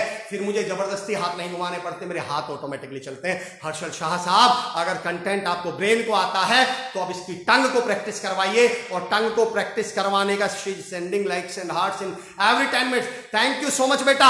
नाम क्या है खुशहाली मैम बेटी का? बच्ची का नाम क्या है? मुझे बताइएगा। अब मेरा पॉइंट समझना दोस्तों? एक फॉर्मूला दे रहा हूँ। टंग को प्रैक्टिस कैसे करवाएँ? पब्लिक स्पीकिंग की तैयारी कैसे करें? फॉर्मूले का इससे कॉन्फिडेंस भी बढ़ेगा बॉडी लैंग्वेज भी बढ़ेगी, और आप पब्लिक स्पीकिंग की प्रैक्टिस भी बढ़ेगी आपकी। फॉर्मूले का नाम है ई सी जी फॉर्मूला समझना दोस्तों क्या है? ई सी जी फॉर्मूले का नाम क्या है? E C, G public speaking stage पे बोलते समय, लोगों के सामने बोलते समय क्या बढ़ती है? धड़कने। और उसी को लेकर मैंने फॉर्मूला बनाया ई सी जी कि आपको ग्रेजुअली कैसे शुरू करना है स्टार्ट कैसे करना है। पॉइंट समझना दोस्तों। मेरा पॉइंट समझना। ई e फोर होता है। जब आप शुरू करें बॉडी लैंग्वेज भी इंप्रूव होगी आपकी। आपका कॉन्फिडेंस भी इंप्रूव होगा इसमें और पब्लिक स्पीकिंग की प्रैक्टिस भी। आपने पढ़ के, सुन के, देख के, आपने ये तो प्रैक्टिस कंटेंट तो कर लिया टंग की तो अब भर चुकी है। अब सवाल ये है, टंग की प्रैक्टिस करवानी है, कैसे करें ई सी जी मैं फॉर्मूला दे रहा हूँ आपको। E for each other talk to each other शुरुआत कहाँ से करनी है? दो लोगों से। आपको किसी भी एक व्यक्ति को परिवार में, दोस्त में, किसी को भी एक व्यक्ति को सामने बैठाना है या उसे सामने बैठाना है और खुद खड़े होके दो टूल दूँगा दोस्तों, आज आपको याद रखना, अपने परिवार में भी कैसे प्रैक्टिस करें। दिन में चार बार आपको प्रैक्टिस करनी है पाँच पाँच मिनट खड़े होकर बोलने की, क्योंकि जब आप एक्चुअल में डिलीवरी देंगे, जब एक्चुअल में बोलने वाले हैं तो नाइनटी केस में आप खड़े होकर बोलेंगे तो बेसिकली आपके शरीर को बॉडी को मसल्स को भी प्रैक्टिस क्या होनी चाहिए? अच्छा कुछ कुछ मैसेज आपको, एक उदाहरण देता हूँ। आपने नोटिस किया होगा ये सेशन मैं बैठ के क्यों नहीं लेता? मसल्स मेमोरी पे कभी फिर बोलूँगा मसल्स मेमोरी की पावर समझ लो अब यार। मैं खड़े होकर ये सेशन क्यों लेता हूँ? मैं पिछले दस साल से सेशंस ले रहा हूँ और जब भी मैं बोलता हूँ तो खड़े होकर बोलता हूँ, मेरा पॉइंट समझना। बचपन में बायो या साइंस के एग्ज़ाम्पल में हमने सुना है कि चार बजे कुत्ते को खाना देने के लिए घंटी बजाई जाती थी तीन चार दिन और जब पाँचवें दिन आपने घंटी बजाई तो उसको पता चल गया, खाना मिलेगा। ऐसे ही हमारी मसल्स होती हैं। दरअसल मैंने पहले दिन ना एक आप दो, जब मैंने अनाउंस किया था एसकेडी का प्रोग्राम तो मैंने उस दिन बैठ के बनाया था वीडियो और मेरी उस वीडियो को देखना और आज की वीडियो आप यकीन नहीं करेंगे, वो मैं ही हूँ। दरअसल मेरी मसल्स को यह पता है कि अगर मैं खड़ा हूँ, इसका मतलब अमर चौधरी बोलने वाले होंगे और मेरे शरीर को पता है अगर मैं बैठा हूँ तो उन्हें लगता है रेस्ट करना है, फिर वो बोलने वाली पोजिशन में ही नहीं आती। तो मैम आपको प्रैक्टिस करने का तरीका बता रहा हूँ। दिन में पाँच बार, चार बार, पाँच पाँच मिनट के लिए घर वाले अगर आप सब्ज़ी भी पूछ रहे हैं ना, मम्मी से, मम्मी क्या बना है? तो मम्मी से पूछो, खड़े हो जाओ। मम्मी, आप मुझे बताओगे आज खाने में क्या बना है? मम्मी, मुझे भूख लग रही है, मैं इसलिए पूछ रहा हूँ। अगर दस, पाँच मिनट में खाना बनने वाला हो तो कृपया मुझे बता दीजिए, ताकि मैं तैयार हो जाऊँ खाना खाने के लिए। आपको कोई नई बात नहीं बोलनी। आपको वही बात जो आप नॉर्मल मम्मी से बोलने वाले थे, खड़े होके बोलिए। आपकी बॉडी की प्रैक्टिस हो रही है टंग की प्रैक्टिस हो रही है, पैरों की प्रैक्टिस हो रही है मसल्स की प्रैक्टिस हो रही है। E for E talk to each other शुरुआत करो दिन में एक एक करके एक एक करके चार पाँच लोगों से बोलूँगा one two one one two one one two one अब आपको थोड़ा सा क्या प्रैक्टिस हो गई खड़े होकर बोलने की? थोड़ी टंग की प्रैक्टिस हो गई थोड़ी ब्रेन की प्रैक्टिस हो गई सी फोर सर्कल अब आप वन टू वन बोल रहे थे, अब टॉक टू अ सर्कल अब एक सर्कल से बात करें। देखो, डर कैसे दूर होगा? कॉन्फिडेंस कैसे बढ़ेगा पब्लिक के? पब्लिक स्पीकिंग की खूबी बताता हूँ मैं। पब्लिक स्पीकिंग में सबसे महत्वपूर्ण शब्द है पब्लिक आपको बोलते हुए डर नहीं लगता, ध्यान देना। आपको पब्लिक के सामने बोलते हुए डर लगता है। तो भाई प्रैक्टिस भी किसके सामने करनी है? पब्लिक के। आपको गाते हुए डर थोड़ी लगता है, वरना तो आप बाथरूम में भी नहीं गाते। आपको पब्लिक के सामने गाते हुए डर लगता है तो प्रैक्टिस भी पब्लिक के सामने होनी चाहिए। ई टू ई में टॉक टू ईच अदर एक व्यक्ति के सामने, जब वहाँ दो चार दिन प्रैक्टिस हो जाए, घर में चार पाँच लोगों का सर्कल बना लो, पाँच मिनट के लिए खड़े हो जाओ, नमस्कार, मेरा नाम अमर चौधरी है। मैं आपसे ये कहना चाह रहा हूँ, रामायण सीरियल बहुत अच्छा चल रहा है। रामायण से आज हमें ये शिक्षा मिलती है। पाँच मिनट आप चाहे धनिया बता, सब्ज़ी बनाने की विधि बताएँ, चाहे अपना परिचय दें, चाहे आप ये बताएँ कि लॉकडाउन में आप बाहर क्यों नहीं जा पा रहे, चाहे आप घर के जाले बताएँ, घर में इतने जाले लगे, जो कुछ बताएँ, पाँच मिनट के लिए सर्कल के सामने खड़े होकर बोलिए। E C then G for group जब लॉकडाउन खुल जाए E for one to one आपने प्रैक्टिस कर ली सी फोर चार पाँच लोगों के सामने आप बोलिए जी फोर ग्रुप अब 20-25 लोगों की क्लास के सामने, अपने क्लासरूम के सामने, सर के आने से पहले दो मिनट के लिए खड़े हो जाओ। और क्योंकि आप ई के सामने बोल चुके हो, सी के सामने बोल चुके हो तो अब जी के सामने बोलना आपके लिए बहुत आसान है। अब आप उन पच्चीस लोगों के सामने खड़े हुए good morning welcome back to India आपका स्वागत है लॉकडाउन के बाद। आइए दोस्तों डेवलपमेंटल बातें करें। जो मन में आए बोलिए। कंटेंट की चिंता मत करिए। मैंने कहा था, गलत बोलने से मत डरिए, गलती करने से मत डरिए। याद रखना, गलती करने से कोई फ़र्क नहीं पड़ता। मैं आपको लैंग्वेज की खूबी बता दूँ। लैंग्वेज में गलत नाम का कोई शब्द ही नहीं होता।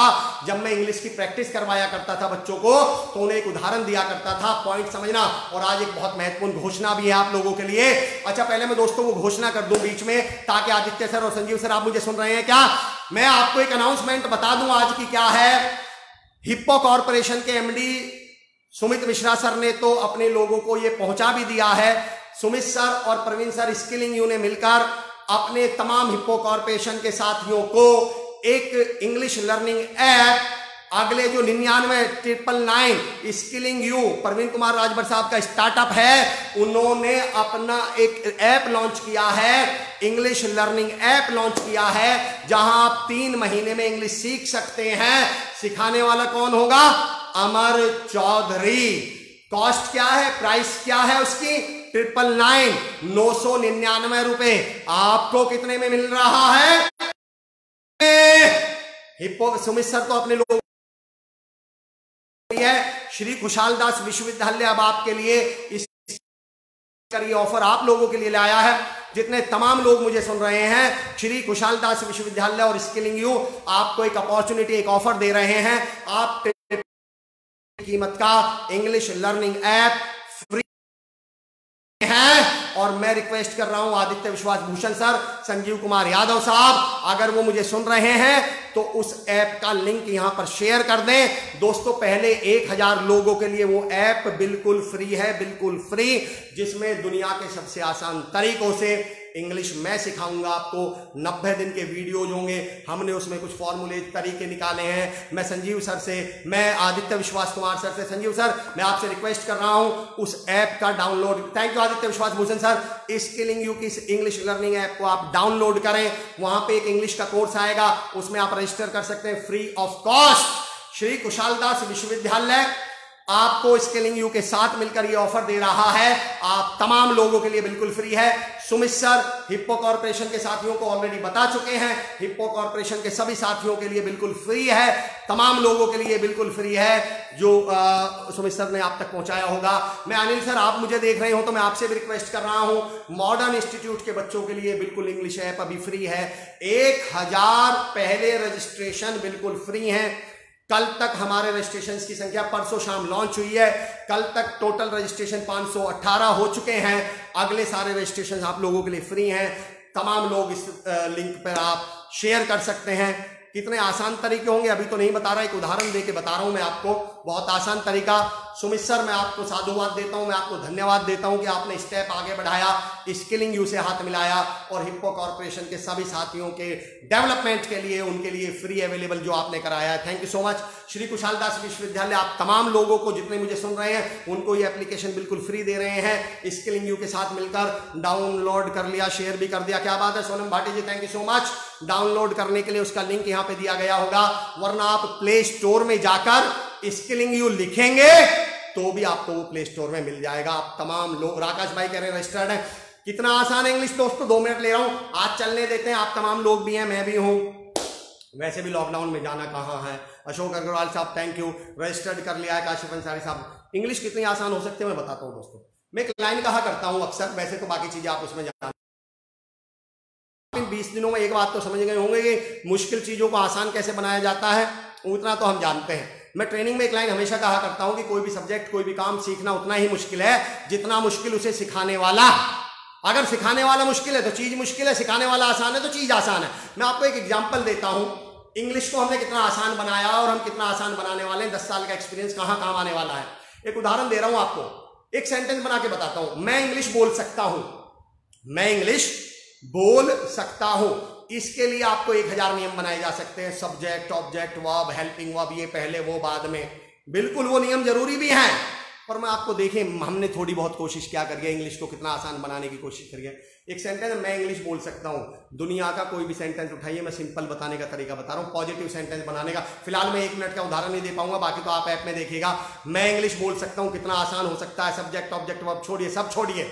जो सबसे पहला वर्ड है, मैं इंग्लिश बोल सकता हूँ। जो सबसे पहला वर्ड है, जो इस काम को कर रहा है, क्या है इसमें? मैं। इसको उठाइए और सबसे पीछे लिखिए और पीछे से जो का तो सेंटेंस बना दीजिए।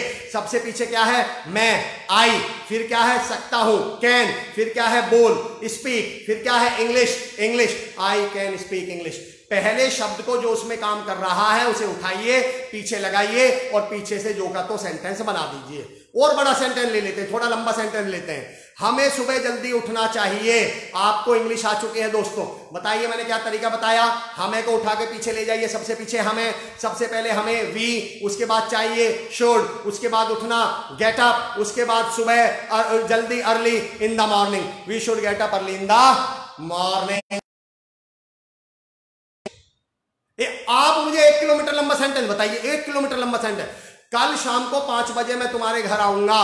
कुछ मत करना, आप इस मैं को उठाइए, पीछे ले जाइए, पीछे से बनाइए। मैं आई गागेगी विल आऊँगा कम आई विल कम तुम्हारे घर योर होम शाम को कल टुमारो इन द इवनिंग बस। ऐसे बहुत सारे तरीके मैं आपको उस इंग्लिश लर्निंग ऐप में बताना चाह रहा हूँ। यहाँ पे हमने डाउनलोड करने के लिए आपको लिंक दे दिया है। आप डाउनलोड कर सकते हैं। पहले एक हज़ार डाउनलोड टोटली फ्री हैं। थैंक यू सो मच मैं आ रहा हूँ बीआईबी पे E e for talk to each other फिर C for circle then G for group आप वहाँ से प्रैक्टिस करना शुरू करिए। आपको धीरे धीरे कॉन्फिडेंस भी इंप्रूव हो जाएगा बॉडी लैंग्वेज भी इंप्रूव हो जाएगी। आज के लास्ट दो टूल शेयर कर रहा हूँ। अगले टूल का नाम है E V M public speaking करते समय। अच्छा ध्यान देना। अभी मैं पब्लिक स्पीकिंग में टॉप कैसे करें कि कर रहा हूँ? कैसे करें? और इसमें टॉप का ईवीएम जो फॉर्मूला है ई वी ईवीएम इसके दो मैंने आपको दो फॉर्मेट है ईवीएम ईवीएम का। मतलब है, यानी कहाँ तक पहुँच स्टार्टिंग का मतलब है कहाँ से शुरू है। तो ईवीएम सब स्पीकिंग में तीन बहुत महत्वपूर्ण चीज़ें हैं। V for voice module M for movement body movement E for eye contact, V for voice modulation और EVM बहुत है। तो हमें भी पब्लिक स्पीकर तो बना सकती है। E for eye contact V for voice modulation M for movement लेकिन दोस्तों मैं ये कहता हूँ ये एंडिंग पॉइंट है। यहाँ तक तो हमें पहुँचना है। यहाँ से शुरू नहीं करना। शुरू कौन सा ईवीएम है? E for energy fee V for volume up M for motivating. समझना दोस्तों? अगर मैं आपसे कहूँ कि आपको बोलते समय आई कांटेक्ट बना के रखना है तो क्या आप मेरे बोलते ही बना लेंगे? अरे भैया, इसके लिए तो प्रैक्टिस चाहिए। इसके लिए तो चार, पाँच, छह बार आना पड़ेगा। इसके बाद तो दस, बीस बार प्रैक्टिस करेंगे, तब इक्कीसवीं बार में आई कांटेक्ट बनेगा। अगर मैं वी फोर वॉइस मॉड्यूलेशन में कहूँ, भाई, आपको वॉइस मॉड्यूलेशन अच्छा रखना है तो क्या आप इसे रखना शुरू कर दोगे? भाई, प्रैक्टिस करनी पड़ेगी। ये चीज़ें वो हैं जो आपको दस, पंद्रह दिन बाद, एक महीने बाद, दो महीने बाद आएँगी। EVM eye contact, voice modulation movement, यहाँ तक तो पहुँचना है। पर शुरू कहाँ से करना है? इस सेशन के खत्म होते ही आप अंदर, अपने अंदर क्या चेंज ला सकते हैं? ई फोर एनर्जी बताओ, मैं कहता हूँ, थोड़ा एनर्जी से बोला करो। इसके लिए आपको प्रैक्टिस करनी पड़ेगी क्या? इसके लिए किताबें पढ़नी पड़ेंगी क्या? इसके लिए एमबीए करनी पड़ेगी ना? कुछ नहीं, आपको डिसीज़न लेना है, बात खत्म। अब हो गए आप थोड़े से एनर्जी में। वी वॉल्यूम अप आप जितनी भी स्पीड पर स्पीड से मेरा मतलब है, आवाज़ तेज की बात कर रहा हूँ वॉल्यूम की बात कर रहा हूँ। जितनी भी वॉल्यूम पे आप बोलते हैं सिर्फ़ उसे टेन परसेंट बढ़ा दीजिए। टेन परसेंट उसे अप कर दीजिए। अगर आप ऐसे बात करते हैं नमस्कार मेरा नाम नमस्कार मेरा नाम अमर चौधरी। नमस्कार मेरा नाम अमर चौधरी है। ए, ये डिसीज़न ये प्रैक्टिस की चीज़ नहीं है। ये देखो दो चीज़ें दो तरह के चेंज होते हैं दुनिया में। मैं कभी फिर बात करूँगा। एक चेंज होता है बियर्ड चेंज एक होता है शेविंग चेंज बियर्ड चेंज और शेविंग चेंज में अंतर बाद में बताऊँगा। फ़िलहाल मैं ये बता दूँ आपको कि आपको आई कॉन्टैक्ट सुधारने में पंद्रह दिन लग सकते हैं। एनर्जी में तो एक मिनट लगेगा डिसीज़न ही तो लेना है। आपको वॉइस मॉड्यूलेशन में टाइम लग सकता है। वॉल्यूम अप करने में तो डिसीज़न ही लेना है। आपको मूवमेंट में प्रैक्टिस करने में टाइम लग सकता है। मोटिवेटेड होकर बात करें। इसमें कौन सी प्रैक्टिस की ज़रूरत है? तो आप ईवीएम से शुरू करें। आज के बाद नियम बना लो, मैं बैठ के भी बोलूँगा, किसी से भी बात करूँगा एनर्जेटिक होकर बात करूँगा वॉइस मॉड्यूलेशन वॉल्यूम अप होगी और, एम मतलब मोटिवेटिंग होगा। ई वी एन चलिए दोस्तों, आज हमने तीन फॉर्मूले सीखे ECG talk to each other talk to a circle talk to a group यहाँ से शुरू करिए। फिर हमने एक सीखा ईवीएम हमारी एनर्जी हाई होनी चाहिए वॉल्यूम अप होनी चाहिए और एम यानी मोटिवेटिंग होना चाहिए। बाकी तीसरा हमने फॉर्मूला सीखा R O L S R मतलब रीडिंग ओ मतलब ऑब्जर्वेशन एल मतलब लिसनिंग पढ़िए, सुनिए, देखिए और then you will be able to speak तब आप उसको बोल पाएँगे। मैं ये उम्मीद करता हूँ दोस्तों कि आज इस सेशन के तुरंत करना शुरू कर देंगे। आप गलती करने से नहीं घबराएँगे, गलत करने से। इंग्लिश ना बोलना पब्लिक स्पीकिंग ना करना, लोगों के सामने ना बोल पाना, ये गलत है। जा लेना, स्टेज पे चढ़ के बाल ऐसे कर लेना, ये गलती है। गलतियाँ सुधर जाती हैं, गलत का दुनिया में कोई इलाज नहीं है। चालान कटवा लीजिए, गलतियाँ करना शुरू कर दीजिए। एक बार ट्राई मार के हिम्मत करके सामने आ जाइए, गब्बर बसंती वीरू बन जाइए। और फिर हमने फॉर्मूले क्या सीखे? आप कंटेंट भर लीजिए, टंकी भर लीजिए। फिर हमने क्या सीखा? मसल्स मेमोरी यानी प्रैक्टिस किसकी करिए? डिलीवरी की प्रैक्टिस करिए, बोलने की प्रैक्टिस करिए, लोगों के सामने बात करने की। और हमने ईसीजी और ईवीएम फॉर्मूला सीखा है। कल के लिए मेरे पास एक अनाउंसमेंट है आपके लिए। कल हम एक बहुत बेहतरीन सेशन करने वाले हैं करियर काउंसलिंग पर। आप लोगों के हैं तो उनकी करियर काउंसलिंग के लिए। आप खुद स्टूडेंट्स हैं तो आप लिए मिस्टर मनीष शर्मा इंडिया के लीडिंग करियर हमारे साथ 10 बजे यहाँ पर होंगे। कल आप उनका सेशन अटेंड करने वाले हैं। मैं तमाम लोगों को बहुत बहुत शुक्रिया। के लिए आई बी बोल, इंडिया। कोई स्किलिंग यू के लर्निंग इंग्लिश हम यहाँ शेयर कर सकते हैं। आप इसमें रजिस्ट्रेशन करा लें फ्री का, पहले एक हज़ार को बिल्कुल फ्री है। श्री कुशाल दास विश्वविद्यालय की आपको पेशकश है स्किलिंग यू के साथ मिलकर। सुमित मिश्रा सर, आपने हिप्पो कॉरपोरेशन के तमाम लोगों को ये गिफ्ट ऑलरेडी